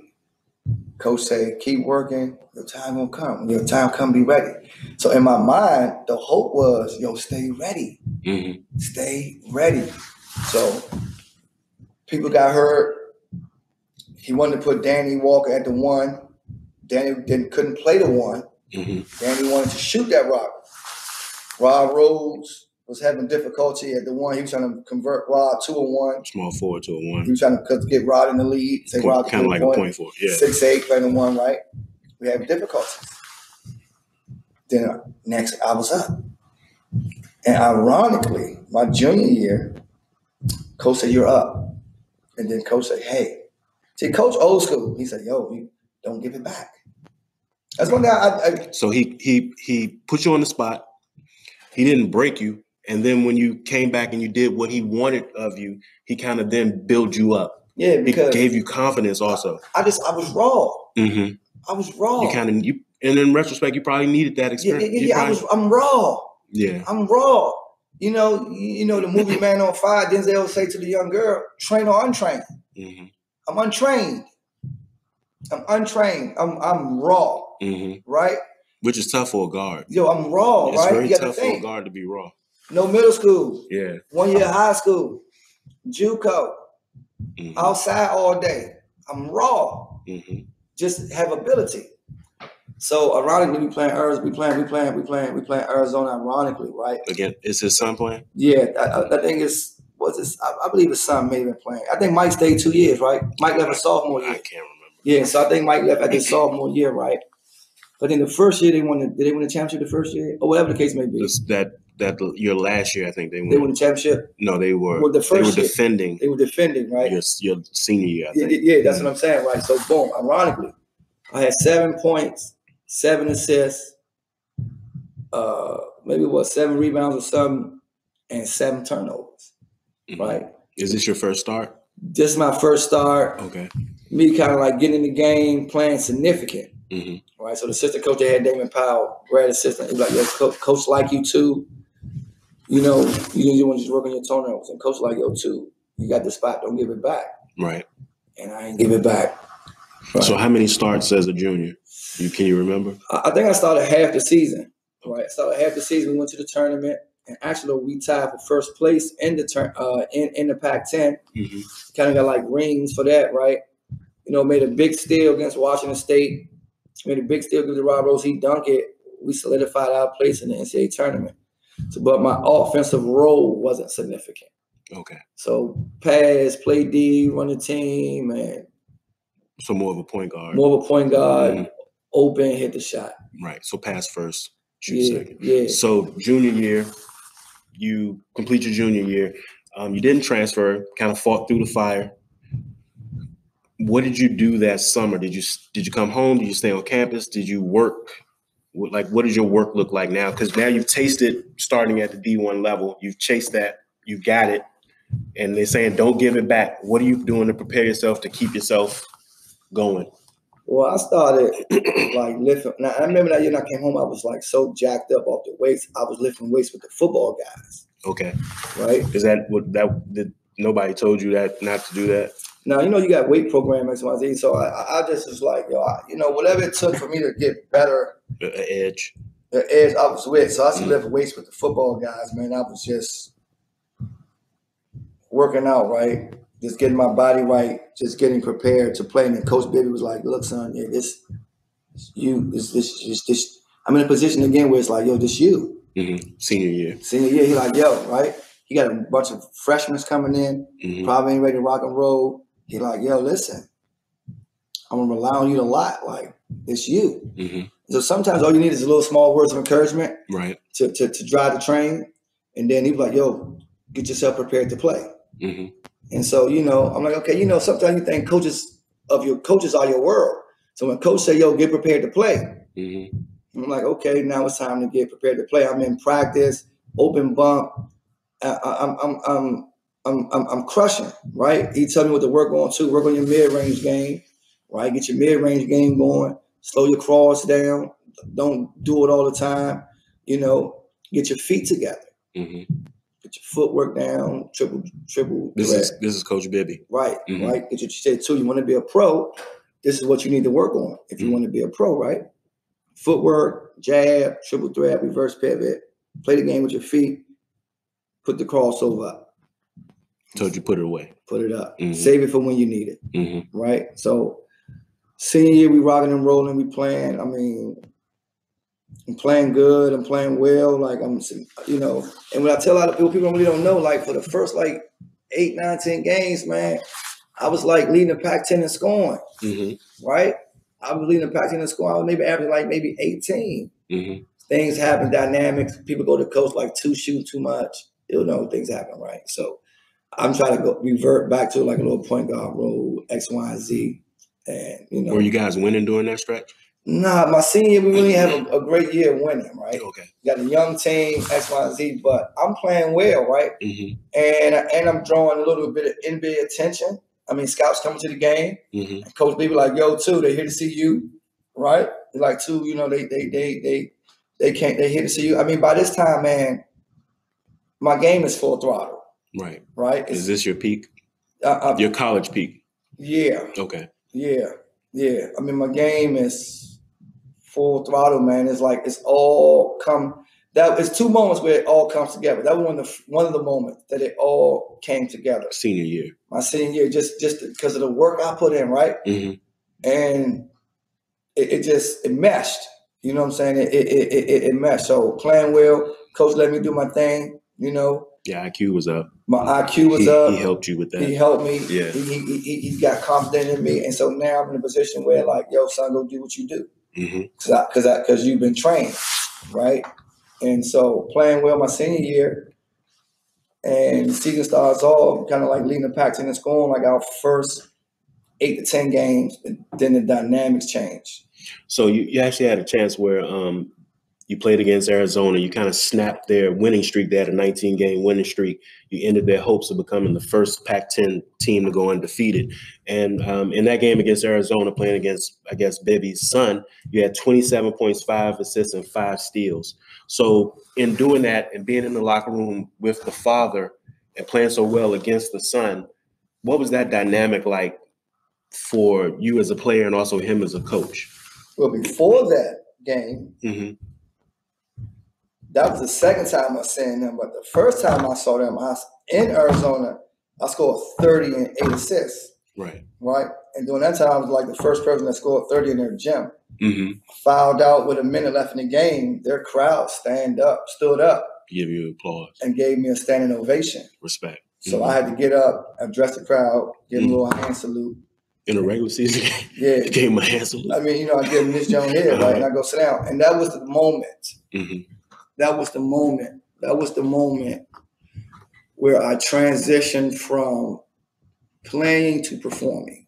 hmm right? So it was no longer was I playing now, it was performance based ability, Mhm. right? And you're definitely still thinking about the next level. Yeah, Right. right. So now I'm in, in, in performance mode, right? And so, but that game you're speaking of, right? So actually, it was like 26, six and six, right? Mhm. 26 points, six rebounds, six steals, six assists, right? And um,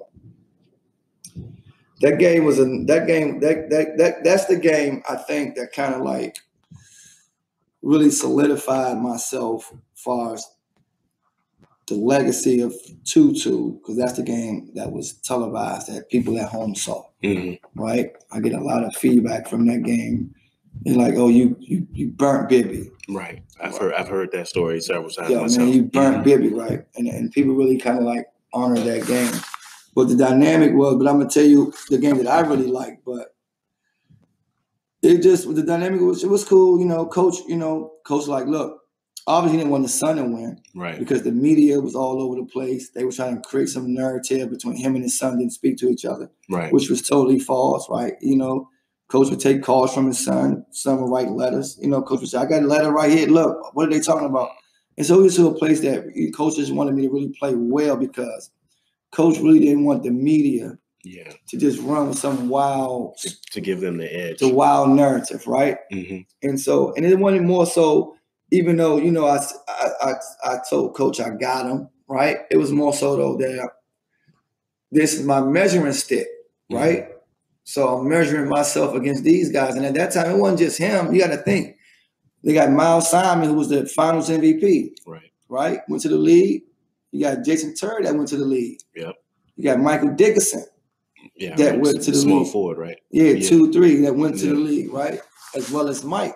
hmm So, and they all got a piece of the action, hmm right? So it wasn't just Mike, right? Right. I, I, I went through Mike so easy, they put Miles. They switched it. Uh, and I, I, one play, I came down through the right, left to right, threw Miles and to next week, hit the J ball. Next play, I, I come back and throw the right to left. Throw the first time I threw the I threw the I threw the right to left. Second time I come back to the left and right, hit the J ball. The whole crowd go go crazy. They got him off of me.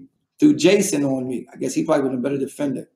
Went wild on him. Then they switched and then went bigger hmm with Michael Dickerson Right. right? Six five. They put Mike. Mike. Mike was talking to me.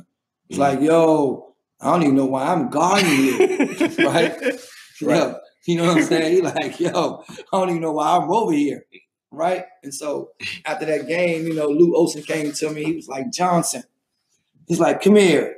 Right. I'm like, "What's up, coach? How you doing?" He's like, "Man, why I don't know you." He said, Mhm. why we didn't recruit you? Hmm right? So I say that because it was those were testaments to my ability and my and, and my hard work, man. hmm That it was it was just being like recognized. But that's the game people know. That's the game people recognize. But the game I, I like initially is the game we play against UCLA against Baron Davis. He freshman. He's freshman hmm right? He's a freshman.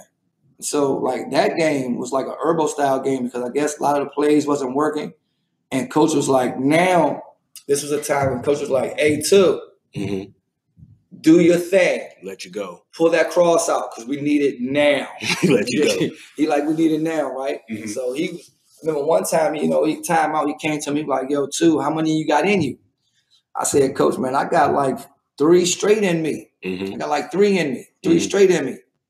He like ISO me five straight times, and five straight times I got a bucket. Is this who was guarding you? Baron Davis. Baron Davis, Earl Watson, hmm Rico Hines. Like I mean, you gotta kind of gotta take turns, right? Once you try like in your in you and your rhythm, you and your bag, you kind of gotta like take turns, right? And so I always say, like after that game, Baron Davis knew the guy Danny Walker that was on my team. Mhm. LA X Y and Z. I guess Danny gives him my number. Right. So Baron calls me up.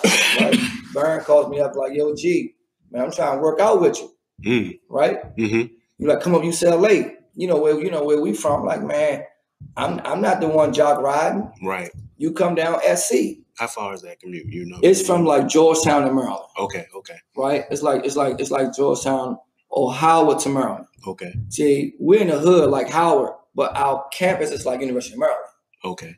But we're just in the hood. Right. You follow what I'm saying? UCLA has the Georgetown mode. See how Georgetown look? Yeah. Put UCLA there, Okay. but put it out College Park. Okay. That's Westwood. Okay. You follow what I'm saying? hmm That's Westwood. So, and I'm like, nah, you come down SC, come down SC and work a little bit. And I told him the hands. You know, the little You told him to hezzy. told him the hands up, right? Mhm. You know what I'm saying? Told him, told him, told him the hands up, right? So I don't say it's disrespect though, but when I played against them and worked in them dudes, little boys, Right. I'm just keeping it 100, right? You look at, oh yeah, they are, man. To me, Right. when I saw them, when we got to it, We got in the thick of it. yeah, we got in the thick of it, right? Mhm. You guys was no threat. hmm You follow what I'm saying? And Earl Watt, uh, and Eddie House got got a, got a piece. Arizona State, right? Arizona State, right? Career high, 32 points, right? I, I, don't- I maybe probably missed like four shots the whole night, Mm. right? Is that your senior night? Yeah, that's probably my senior night. So you went out with a bang. Went out with a with with with, with, a, with a real bang. You know, that Mhm. year, I get the most valuable player of the team. I get the best defensive player of the team. Uh, Pac-10 player of the week. Uh, scored the most points in the weekend. So you know, I was being blessed, man, with with some of the accolades just from the work I put in, right? So you gotta look at all that stuff and reflect back, right? Where you came from, No junior high, right? one year high school hmm At Phelps. at Phelps, At Phelps. at Phelps, right? hmm Three JUCOs, hmm barely not playing, can't draw up a play. And now you busting McDonald All Americans asses. So you so so the journey, man. So that's Mhm. what I'm saying, right? I'm just saying. Well, let's take a quick break because you're finished with SC now, and we kind of want to talk about what you had going on after that because I know you spent some time playing pro. Yeah. All right, so you finished SC, and what were some of the what were, what were your next? So and, what, and, and the, the, the story, right? So when I come out SC, so I got three teams, NBA teams that's interested in me, right? So I got Houston, right? The head scout Joe Ash was my man, was a good guy. Um, Vancouver Mhm, and Orlando, Mhm. right? So when I worked out with Vancouver, it was me, Paul Pierce, uh, Ruben Patterson, mhm, some other guy, right? Um, in Orlando, when I worked out with them, uh, it was just me and a couple other guys that I, I really didn't, I really didn't know. So worked out with Houston, right? This when they had the Summit Center, right? Worked out with Houston, boom, was good. Then they came out to SC mhm, for a private workout, right? And coach was like, yo, too, you know, when they come, they had just took Rodrick Rhodes the year before Okay. right? And so coach like, yo, when they come in the second, man, they probably be y'all like interested in you, right? So boom, I bet. So what happened was it was expected that Houston was gonna probably take me like second round, Okay. right? Um, when '98 come, they had the lockout, hmm right? They had the lockout. So now, well, during the draft, this is what happened. During the draft, they drafted Bryce Drew out of Valparaiso. Yeah, he had the big shot. I remember him. Right. He hit the big shot. Right. then with the second first round pick, they grabbed Mike Dickerson From Arizona. from Arizona. They Mhm. grabbed Mike Dickerson, right? So now come the second round. So with, so what they tell my agent was that um they didn't want to go small again. Okay. So they grabbed Cuttino Mobley. Oh, okay. They grabbed Cat. Steve was already there. Nah, Steve after me. A year after. Yeah, Steve, Okay. Steve, Steve is Steve. Oh, Cap was there. Yeah, yeah, yeah. Yeah, Steve was after Cap was there first, right? Steve was after me, right? So they grabbed Cuttino. But they, they said, well, we're going to bring Gary in, Mhm. right? See, my thing is this, just get me in the door, man. I'm, I'm a backdoor dude anyway, so Yeah. it don't bother me. hmm Get me in the door. Mhm. Who's your guy? Is this your guy? I'm going at him. Um, yo, so that's always been my mantra, right? hmm Okay, cool. And I always to say, right, no one asks, how do you get in the house? Front or back door? All they know is You're in the house. you're in the house, right? So Right. that's see, that's always been my motto. Mhm. They don't ask you how you got in here. Mhm. All they know you in, right? So boom, 98 coming at the lockout. That killed me. So I couldn't go in as a free agent. So they only had guys that were coming from um that was that were uh has contracts Mhm. or got drafted. Okay. And then they, they played a 55 game season. They don't start up in January. hmm So when so when that happens, I said, well, okay, cool. Me and my agent, I'm go to the CBA, hmm right? That was the D League back then. Right. the CBA, Continental Basketball Association. I'm going to CBA. So go to Tacoma, Washington, uh, play with the team in Seattle. I'm there probably about like six weeks or so. And then I got released because now the NBA players is coming to the CBA to get some bump Right. to stay in shape Right. Because of the lockout. because of the lockout. So they Mhm. come to get some bump to stay in shape. And so that moved me, right? hmm that got me out of there. So I went to my hotel. I, I mean, I, and this is the first time I kind of like cried. So that it was a vet in there. He was like, "Yo, don't worry about it, man. This come with the professional territory. Right. It's gonna be the first time you get cut. It's gonna be the last time you get cut."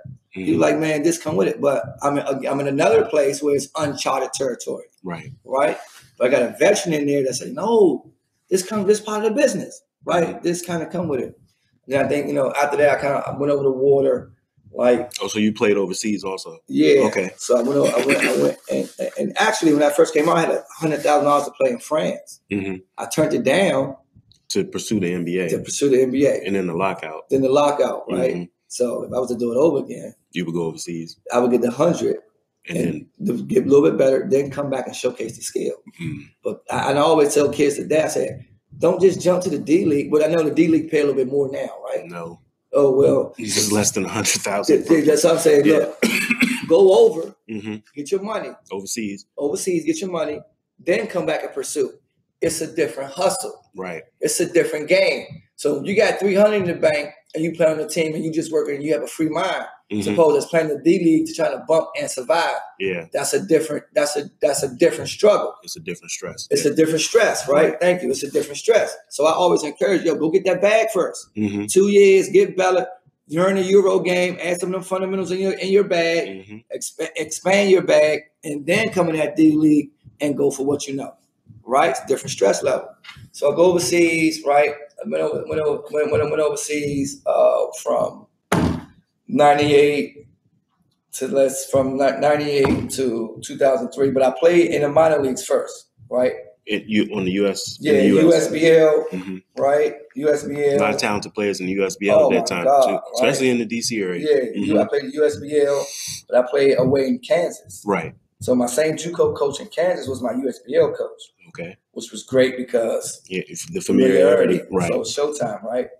Then I played in the IBA, International Basketball Association, hmm right? You got guys that Greg Jones played in it, Curt Smith played in it, hmm some other great guys from New York, Nice played in it. So that league was crazy, right? And you know, played minor league, played over the water, right? And um, and so when I came back after you know a couple years playing over the water, I played in a little LA Summer League, hmm right?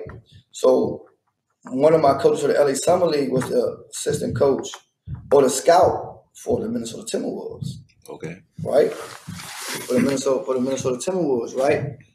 So he invited me to camp, and at this time, I, I got at this time I got a deal on the table, right? Yeah. Minnesota or overseas. Minnesota and the Portland Trailblazers. Okay, so two teams. Okay. So the reason why I'm going to choose Portland Trailblazers is because Coach Bibby played with Mo Cheeks, Okay. right? hmm Timberwolves, are going in there for butt naked blind. Right.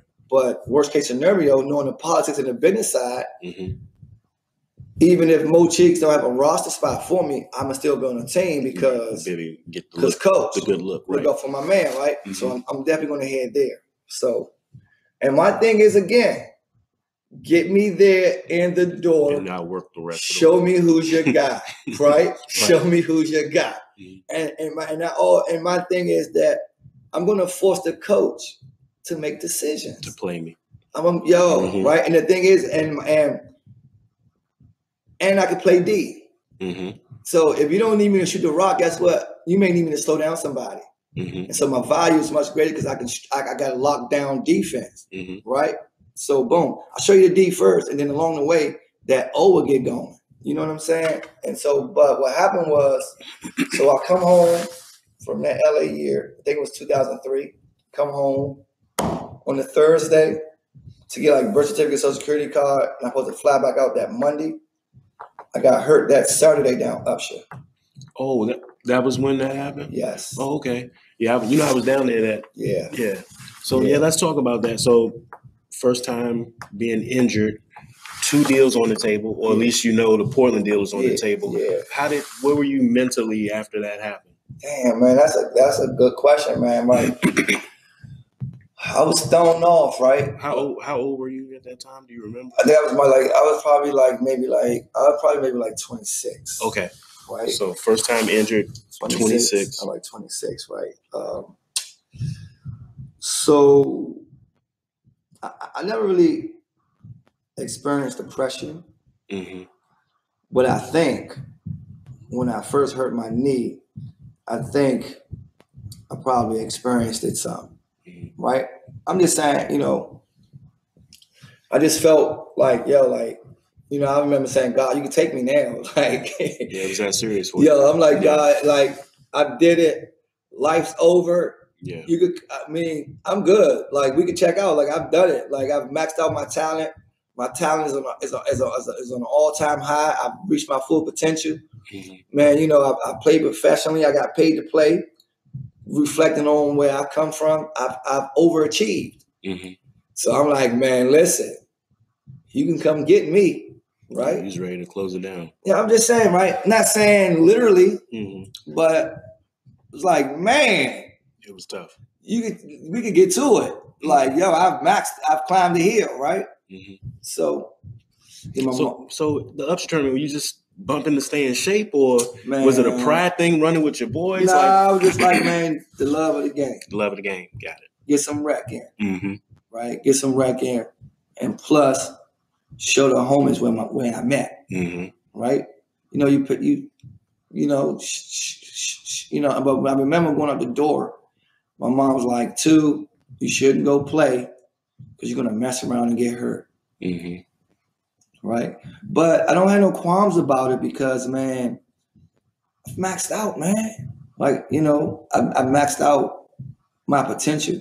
I sleep well at night because I didn't leave anything on the table. Right. I, I think that will definitely help. Yo. Yeah, when you know you going 100% all the Yo, time. If you yeah. went 50, Yeah. that would probably Right. kill the, Ain't no average Ain't person. got no regrets, man. I ate all my food, Yeah.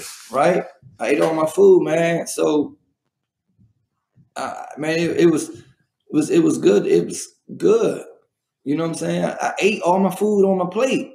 So, you know, So you, I, I'm my timeline is messed up because I know you. I remember you down the Goodman. I remember you playing. Is that after? So you rehab, got back I didn't play really after after that. All that's that stuff was like during the summer, twenty seven. that same summer then. I mean, just I mean, you saw that bump every year I came home. Oh, that's what that. Okay, so after that, Yeah, I'm never here during the winter.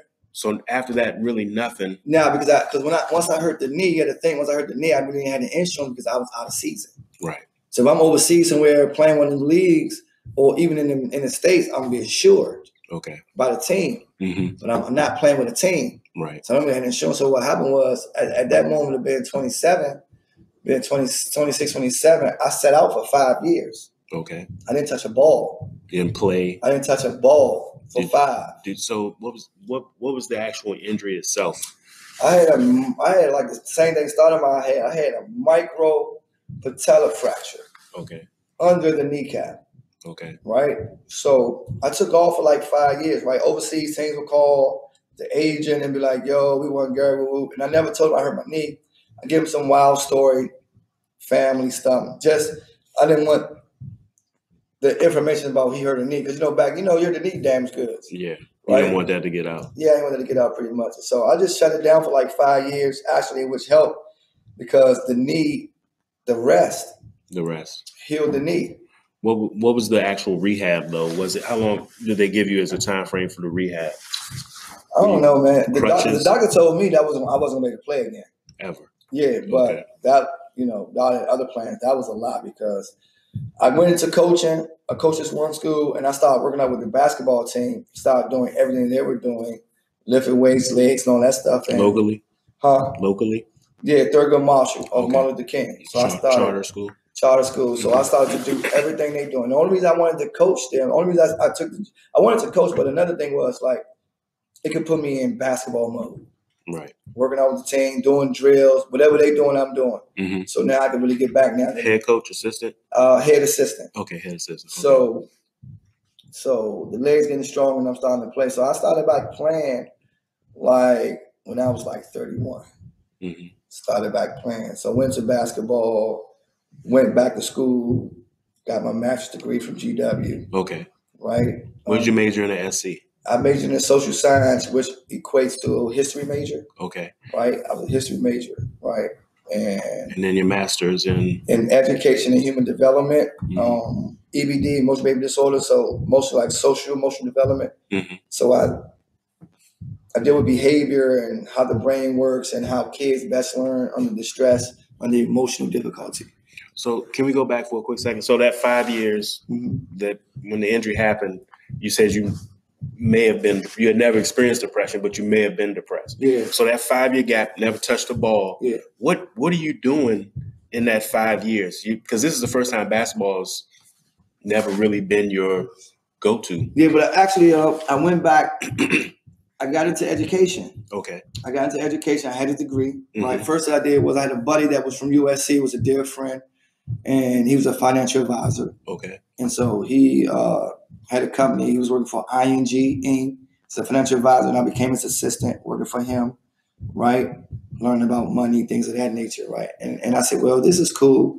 This really ain't for me. You know, I, I want to get back to my city, get back to the kids. And then from there, I went into education. Okay. You know, I started teaching. Got my first teaching job. I was teaching seventh grade science at a middle school in Temple Hills, Shugart Middle School Okay. right? Taught seventh grade science.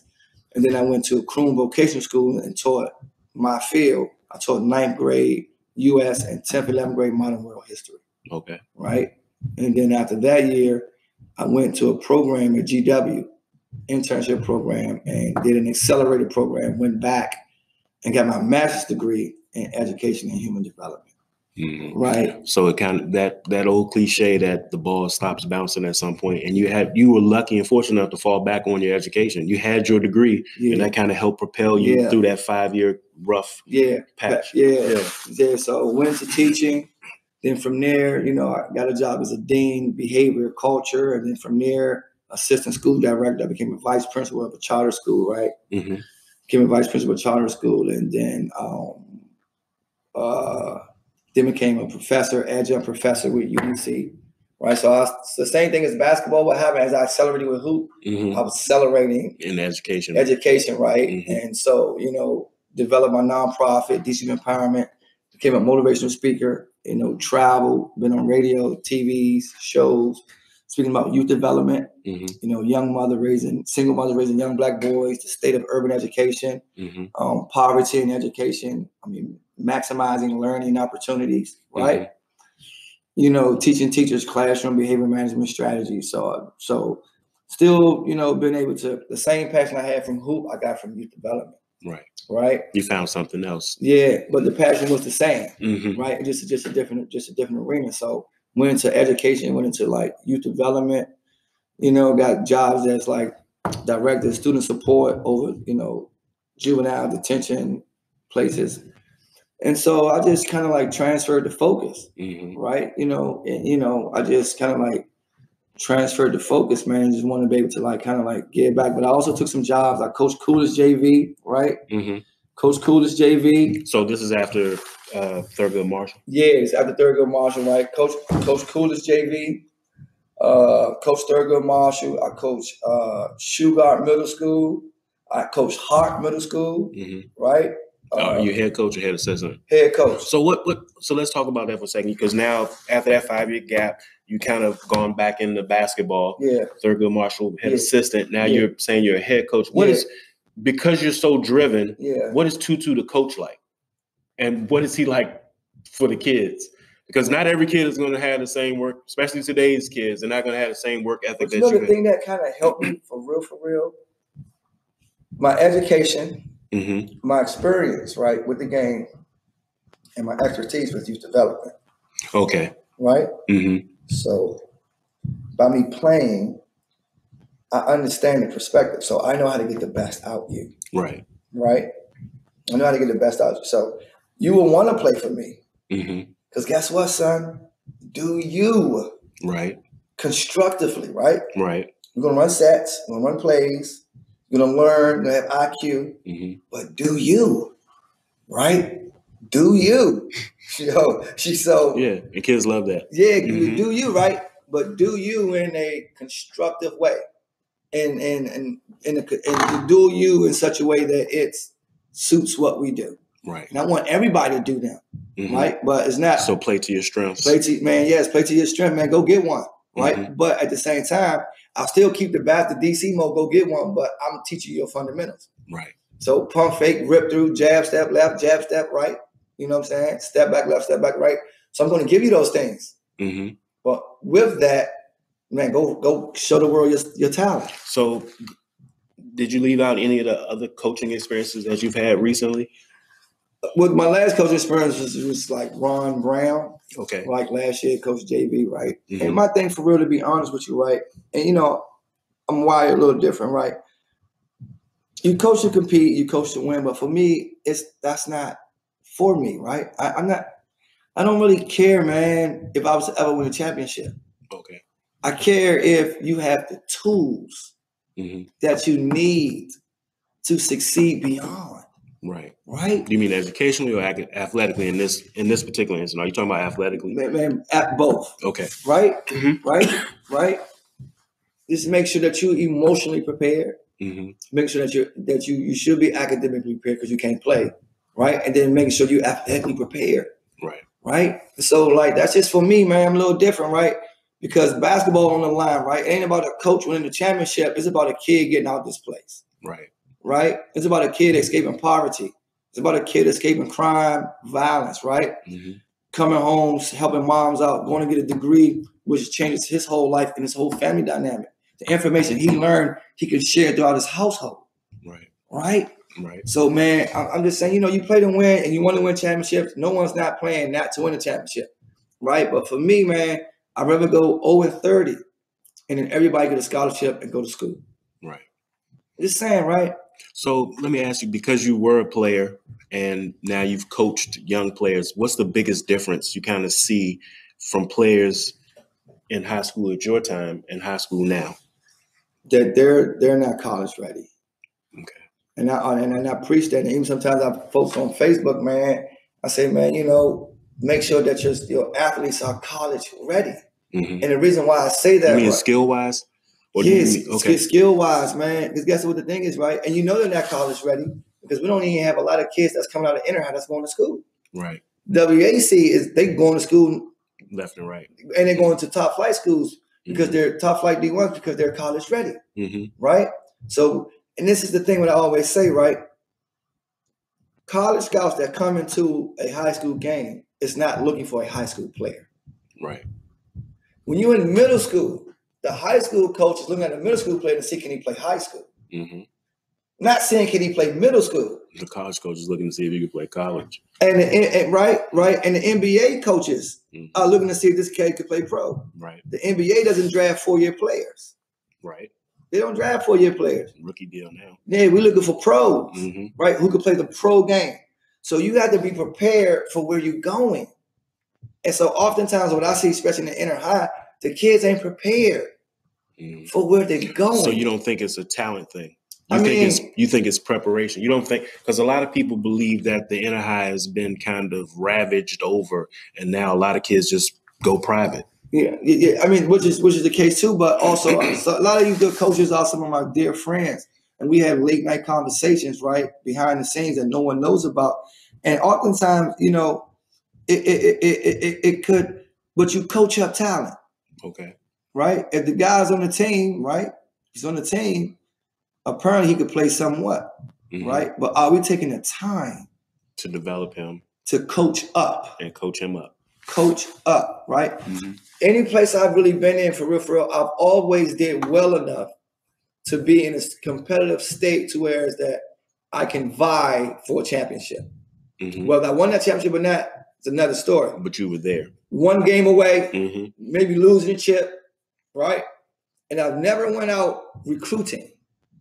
You worked with what you had. Yes, because guess what? I believe in my ability hmm to coach up.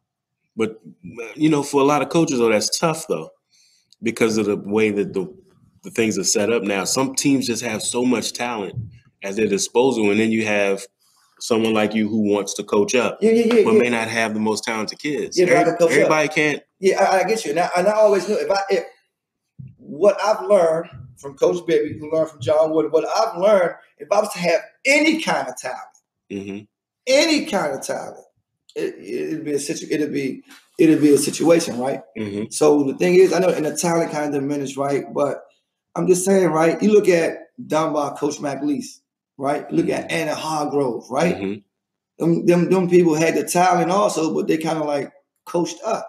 Yeah. They, they, they produced D college guys that were college ready, hmm right? So guess what? We're not talking about D one. We're talking about NAIA, D two. Yeah. So Are you college ready? at at some point, Are you college ready? Right? Everybody ain't going D one, this is true. but I'm just saying. So guess what? Even are you JUCO ready? Are you JUCO ready? I look at some of these these games. I'm like, yo, Yeah. I don't see who's JUCO ready, who's college ready. I ain't just talking about emphasizing D1. You got D2, D3. We talking about getting a degree, getting out the hood. Right. That's the focus. So are you college ready enough to get out the hood? So right now, you're not coaching, right? No, I'm not. Is that something you want to continue doing? Do you want a head coaching position somewhere? I I mean, some. I mean, really, I coach sometimes to give back, but I don't. I'm, I'm not into coaching. Okay. Right. I'm not into it. I'm Mhm. not into it to be chasing it five, ten years. I coach for two years. I take the break. I get the itch. I go into it again. Mhm, Take it all. You know what I'm saying? mhm. I'm not there. All I want to do is be able to give to you what I've known and accum- accumulated over the years, and share it and give it to you. So, just going back, you didn't pick up a basketball for five years. Went to Thurgood Marshall, worked out with the team. Yeah.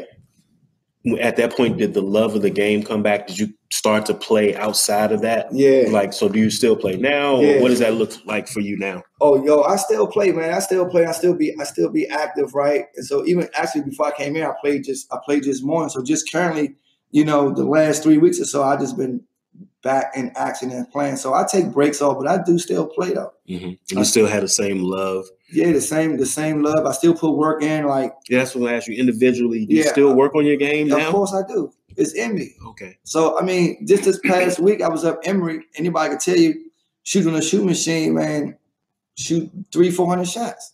hmm It's, it's in me, man. Working on my footwork. You know what I'm saying? Running the steps, running the steps, jumping rope, doing yoga. How's the leg? The leg is good to go, man. So you're good now. yeah, it's good to go. So like, and for me, it's not about really going out and playing. You know, I'm so locked in in performance mode, just preparing the body to to to to to, perform. to perform. So do you play in any of the what 40 and over, 30 what is it, 30 and over 40 and over Nah, I I want to though. I think this year, right? I, I am the one kind of like starting early with Mr. Ricky Gorns, where they got the little summer league. So I Mhm. think you know, I played in a year before last, but I wasn't my best in condition wise. Year before last, I played. Maybe two years ago, I played. But this year, I really want to. I really want to get really engaged, right? I really want to get engaged and just get the body to be, be prepared to play. And it ain't about really going out there and killing. It's about just me at 44, just putting myself in the best possible state to compete. right You follow what I'm saying? My thing is with me is com- competition. right Just being able to compete. Are you going to be able to how, because you're such a competitor how is that going to work for you now that you're a little bit older and you may not be able to do the same things that you've done before are you just going to push yourself what i'm really asking is are you going to push yourself to your peak at this age yeah, yeah. Because the thing is, right, and I, you know, the good thing is that I don't have a lot of wear and tear. Right. Right. You know, mm-hmm. taking five years off. You know, I may work out for six months, and then the next six months, like just just last past April, March, I was in blast, but I took on a, a project that took my time away. So now I had to, I, I wasn't able to get to the gym, and so now I'm back in mode. So the good thing is, right, I'm not in, I'm not in, I don't have a lot of wear and tear. hmm right? Because my body hasn't been through a lot. And so now once my body get back in rhythm, I'm able to do the things that I can do. Now I know I'm not 25, right? right But at the same time, I got enough upstairs to get to your spots get and that's how I play. So let me ask you, um, done with the playground?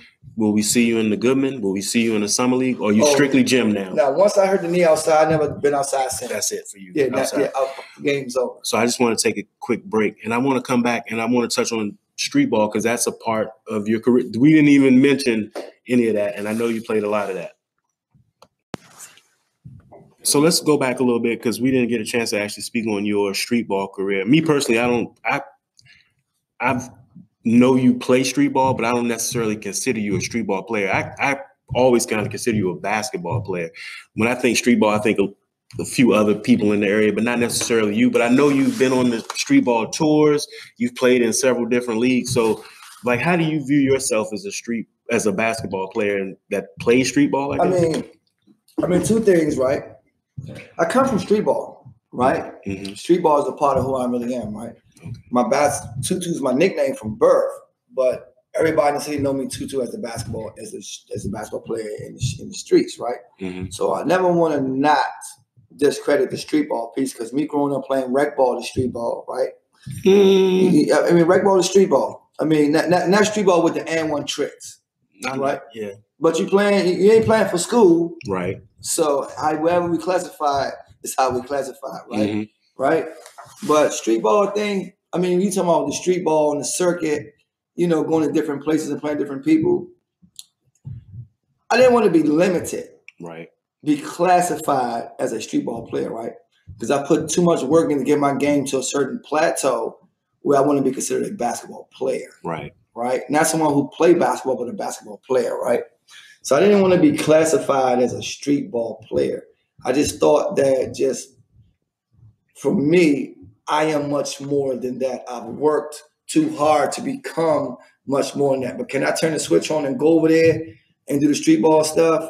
Yeah, of course I could. But can I hit the switch and go over here and play technically and sound? Of course I could. but see, here's my thing with that about that. So during that era of street ball, it wasn't really basketball. So how did that work for you? Because your love of the game, being so competitive, not being necessarily real basketball, more so isolation tricks. You know, But how we play, we had the tricks, right? right? We we got the tricks. We got we got the tricks and we got the cross. Mhm. But we still know how to play conservative. Now we're not gonna pick the ball up and dance. yeah, that's what I'm saying. But during that time, it Yeah. kind of changed towards that. How did you feel about? Yeah, but it ain't affect That's because none of us did that. Me, Pep, Greg, you know, Black Mo, none of us that didn't bother. And we, and we played with get some of the guys who did that, right? Mhm. And some of them guys, right, they do that on clown dudes. right, But when we come in there, real players. they real players, they know. Mhm. They know. Like they can't dance today. Right? so you know what I'm saying? Like this today, this ain't you can't dance today. Nah, I was I was at PG Bone Collector. I think came down here for the Yeah. first time. Yeah, and I can honestly say you were probably the only person who's able to stay in front of him. Yeah. It wasn't none of yeah, that. yeah. Nah. Yeah. right? It's, it's, it's and then I tell you a story, man. With Bone Collector, we was going out, uh, we was going overseas. We was going, we, we and actually I have a I have a picture with me and Bone Collector. I'll send it to you. We was going overseas and we was practicing up boy, right? Mhm. And matter of fact, maybe like six, seven months ago, he was in town. We we we we we, we was at Upgrade, you know, workout gym studio. And he said to me, he was like, yo, too, man, we got to check it up. I need to I, I need to get back. Yeah. Because we was up not even from that time, he was up Mhm. at boy. He was checking me. I scored like seven straight hmm on him, hmm right? Seven straight, seven in a row. He like, two, man, I, I need to get back, hmm right? So it's just certain styles make fights. hmm You know what I'm saying? Even with Future, you was at the game of, of Coolidge Right. when we played against them, You dropped them out of bounds. dropped them out of bounds, right? Mhm. Right? hmm I'd be right back. When they was on Hollow Ground on TNT, we play up UDC. hmm You know, I'll be right back between the leg snatch, hit the J bar, everybody go crazy. hmm That, was Right. that, that game was overcrowded. It was overcrowded, right? Right. So we talking about really like doing instances, man. It's like, yo, like you can't dance today because you got some. It's it's you got a real live one coming at you. coming, coming, coming, coming at you, right? But you know, we went on Sprightly with mixed tours, street ball circuit, 18 cities in 21 days. I mean, we beat everybody. We, we beat every city and state. We was on there with Jay Z, Beyonce, Kanye, uh, Pharrell. Like we, you know, and we came to the street ball stuff. We we did some great things with the street ball also, man. We man, I think Greg, myself, Pep, Victor Page, Black Mo, man, we we man, we've maxed out Mhm. right? We maxed out street ball wise, we maxed out maxed out collegiately, but street ball is, is a part of who we are, right? hmm It's the origin of where we really come from, right? In, in the alley, shooting the crate. So we can never discredit that though, right? But you always want to it's been blessed to to the game for the game to evolve within us. Right. You follow what I'm saying? So I kind of want to. It's we're getting ready to finish up, but I kind of want to touch on a couple of things. So one thing that you've always mentioned: your friendship with Greg, your friendship with Black Mo, Victor Page, Pep Tyson, and can you just kind of talk about how you guys kind of pushed each other, going to run and shoot, going outside, running fives? Can you kind of talk about that because a lot of people don't know how much talent, how all that talent together kind of pushed and motivated each other, especially from high school all the way through your college years, through your street ball years, through your pro years. Can you talk on that? I, I, I, I, think to to expound on that, man, we all had like one thing in common, man, that we all came from a place of poverty, Mhm. right? And we all had the same dream. So we already knew, man, if one of us made it, we all would make it, Mhm. right? And so we played against each other competition wise and winning shoot, but it was never like no animosity, jealous. People really couldn't break us up Mhm. you you you know you you're not better than him you're not better than him and one thing i say about all of us man like as a group we were serious Mhm. but individually we were kings amongst ourselves Mhm. because if you look at our whole crew everybody went their way and did their own thing Stood out. and by themselves right Mhm. so they didn't need the next man even when black mo went to west texas a&m he did his own thing greg did his own thing in west virginia vic did his thing at uh, Georgetown. georgetown Mhm. Pep got his championship at, at the D2 level, right? Mhm. By itself. Me at SC. So we come together and it, it's a force, but solo. Mhm. Y'all, Right. y'all stood on your own We, too. we all stood on our own, we, we stood on our own 10 toes, right? And so we were friends, man, and we had genuine, genuine love for each other, right? Mhm. So it just was the fact that, man, we just created a bond and we just went throughout the whole city. Sometimes Vic really wasn't with us all the time. You know, Vic, like whatever he do, he do him. But, you know, me, Greg, Black, Pap, man, we cruise the town and go get some buck. We looking for it, right? Mhm. Even going uptown, I mean, going up New Hampshire Avenue, uh, Tacoma with Dave Vanterpool, Mhm. right? The coach for the Timberwolves, Mhm. right? Uh, Riley, some good players that made all county. Keith Veney, Dermot Clinton.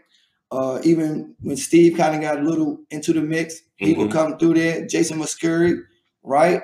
So going, it's us DC dudes going in there Mhm. and getting some of that good bump, and they and they're getting that bump from us, right? And so, and I think they taught. I, they were the first person I seen how to really play under control. Who's that? The the Maryland guys that I just named, That, right? little, that little crew. that little crew, That right? Moco crew. that Moco crew, right? Mhm. And Riley, I tell a story. Riley got at me so bad in the gym playing basic John Stockton basketball. Riley Inge. Riley Inge, right? Mhm. And, I, and I always tell Riley that though, right? I mean, got at me, hmm it got at me, right? But it was very basic. hmm It wasn't none, none more than three dribbles. Bing, bing, get to a spot. Great pass, great pass, pull up. I'm talking about, man, got at me. hmm And he always said, go with that too, go with that too. But I'm so transparent because you know why? It's about my development. Hmm Right? You learn from it. Yeah, I learned. Everything was a learning. So now I said, whoa, that's a point guard. hmm So you follow what I'm saying? But just just us, man. And then the thing about us, right? We under the city embraced us, hmm right? The city, I think during that time when we come through, right? You know, DC was known for what it was known for, right? Right. And I think we personified that energy, hmm right? At that time, we were those NBA guys, right? And you still had Mr. Curt Smith rocking and rolling too, right? hmm But the game was starting to shift and change A little bit. Right. a- a- a little bit to that cross, bing, bing, bing, hmm get really finish your man, right? hmm And then the city embraced it. The city took us in, right? And so we all had the key to the city. It ain't nothing in the city that we didn't want. It's nothing in the city that we couldn't get. I mean, rent get paid, need a car to do anything, man. The city, the city took us on and we embraced that. We relished in that. And like we we took on the identity of the, of the district. I was at the Kenner. I, I think you and Black Mo drove through in a car screaming, "We want Allen." What? What? What? Well, I think he was a freshman. You remember that? I think he was hanging out the top of a car, screaming out to the to the Kenner League crowd, yeah. like, "We want Allen. We Yeah. want Allen." Like, did you ever get that Yo, matchup after he got to college? Uh, no, and again, right, right, and again, right. Competition. that's my. That's what I'm saying. I get it. Yo, it's competition, right? get You got you got a guy, you got a guy He's new to the city. new to the city, Put him. Some people put him at the top of the. at the food chain. Absolutely. So it's and and we just saw him, right? yep. So we talking about right competition In that moment. in that moment. So did you ever get that matchup? Did you ever get to like, play? you know, you know, he didn't play locally. Well, he said it. From what I heard, he was going around playing for money. That's what I heard. I, I guess he never crossed your So so came so, across your line so again, because Sheik. I think Sheik said him and AI was like two on two partners or some shit like that. again, Mm-hmm. me and Greg ain't get, get a phone call. Pep and Greg ain't get a phone call. Me and Pep ain't get a phone call. Mm-hmm. Pep and Vic ain't get a phone call. Vic and Greg ain't get a phone call. So who was he playing? Basically, what you're saying is I don't know what's going on with that, right? playing? I don't know what's going. On. I'm just saying I don't know. Mhm. What, I ain't discrediting anything what nobody's saying, hmm but I'm just saying where it's getting thick at. Oh, Yeah. You're not over the probably over the farms. You're not. You're You're not. not in the urban coalition. You're not tapping the best I- I'm, players I'm- I'm just saying, in right? yeah. So I'm not discrediting at that time. what the what the guys what the guys doing, right? Mhm. So, but So you, for you, any one-on-one games, big one-on-one games, well-known players you took down? Nah, you know, I guess during my time, it really one on one really wasn't Big. nah, right? 'Cause I don't think it really. I don't know what it would really prove, right? Mhm. I mean, you beat a matchup, you beat a guy one on one, right? I mean, okay, guess what? What if you're skillfully better than the guy, and then Mhm. somebody back you down ten times and beat Yeah, for the money. you? I mean, Yeah. right? Two on two, Yeah, two on two games. Any big two on two? Any For- big five on five games for the money? yeah. But the games I played for the cash was was on some, some was, on- was on a different tip, right? Some Okay. guys I knew that had some cash, that knew some little other guys, right? Mhm. But it wasn't against nobody within the city, within the frames of they like that, y'all like that, y'all see somebody. Okay. right? The kind of you know the kind of the kind of the kind of money games I played with some dudes I knew. were like, yo, too, this let's go get this money. They sweet. They want to go in the gym and play against my five, Got it. right? And I mean, and we, we rock. But far as me matching up with guys in the town, it really wasn't about us matching up with guys in the town because for me, I, you know, we embrace the city, Mhm. right? Everybody's in, the, in in trying to make it out, so there's no really need to see see nobody like one on one or be able to like prove that point of like you better than this person. Everything is just competition, Got it. right? Five on five, it's just competition, right? So I want to, I would never sit and say, "Yo, am I better than this guy one on one?" Right? For, really for, for me, that's minuscule, right? That's not my thought process, right? Mhm. So I embrace what you do, Mhm. your skill set, your talent. I embrace what that guy does, right? Mhm. At the end of the day, everyone's trying to make it. Right. So no one's better. For me, I'm not. You know who's better than who. You Yeah. just on any given day, it could be any. It could be any. It could be anybody's night, Got it. right? So, so that's just how that works. you know what I mean? So great career. Education, fell back on your degree, moved forward, got a master's. What's next for you? What are you doing? What do you see yourself in the next five years? What you got going on? Well, I got a I got a book that's coming out, right? Mhm. That's kind of tailored my life, Okay. like some of the same stuff that we discuss, you know, starting from day one all the way up. Um, surviving DC. hmm I am more than my environment, Right. right? Was that a title? Yes. Okay. So, you know, um, actually, that should be probably pub- published by spring. But my thing is like, Independent publishing or you? uh, I haven't decided, Okay. right? Mhm. So, you know, it just creating a platform and just being able to help um, educators um, with youth development and how urban youth of America, how they best learn hmm coming from um, poverty and traumatic experiences. hmm right? So being able to be a pillar to be able to bridge that gap from the youth to educators on like minds, Okay. right? So I'm gonna tell you, I'm gonna give you the secrets or even how to deal with me as how I was as a kid coming from these experiences, or even how to deal with this new age generation uh, with their poverty and their traumatic experiences. Mhm. You follow what I'm saying? So just being able to create a platform to be able to speak just about those things. You, you follow what I'm saying? And just So you have the book, yeah. but also uh, we- you mentioned you have also a nonprofit. Can you Yeah. talk a little bit about that? I have a nonprofit, DC Youth Empowerment, right? Um, what we do is we serve at-risk youth from um, age seven to fifteen. hmm We we do um, uh, emotional and social development, hmm and age sixteen to twenty-four, we do like workforce development and like job placement. Okay. So you know, one of the things we do with that program also, we, we teach teachers classroom behavior management strategies, right? To deal with To deal with some- because of the kids that, who have some traumatic Yeah, experiences. experience or just emotional difficulties, right? Right. Everybody got traumatic experience, but guess what? If I live anywhere possible to sit down here in gun violence, gunshots, my people's got shot, my people's arrested, locked up, you know, my parents not around, you're gonna have some emotional difficulty, hmm right? So it's just And you may not know how to. yeah, deal- just environmental learning, man. yeah. So you you you know you're up against a lot when you when you be coming from the inner city environment, Mhm. right? And sometimes you kind of like need to know how to deal with a certain crew population, or the, the child itself need to understand some coping strategies that they, that they can rely on themselves. So Mhm. just providing that information to both groups. Got it. Anything else you got going on? So you got a book, nonprofit. You seem very busy, man. You, Yo. Right now, you're not in the coaching, so you. I guess you're gonna be going full blast to get yourself back together as far as playing. Yeah, and I've been I've been doing that pretty much. You know, working independently um, as we speak. So just taking some time off to really like just get my mind prepared when the new year kicks in and just going like full throttle and just creating that that brand of Gary Johnson and that that youth development brand. Mhm. So that's where I'm at, right? You know, I still love the game, but really don't embrace the game. The game has been big to me. It's been it's done great things for me. I've been able to see the world, get degrees from it. So my thing now, man, is just severely just youth development Yeah. right? You know, I tell a lot of people that man, you know, 2-2's on the shelf.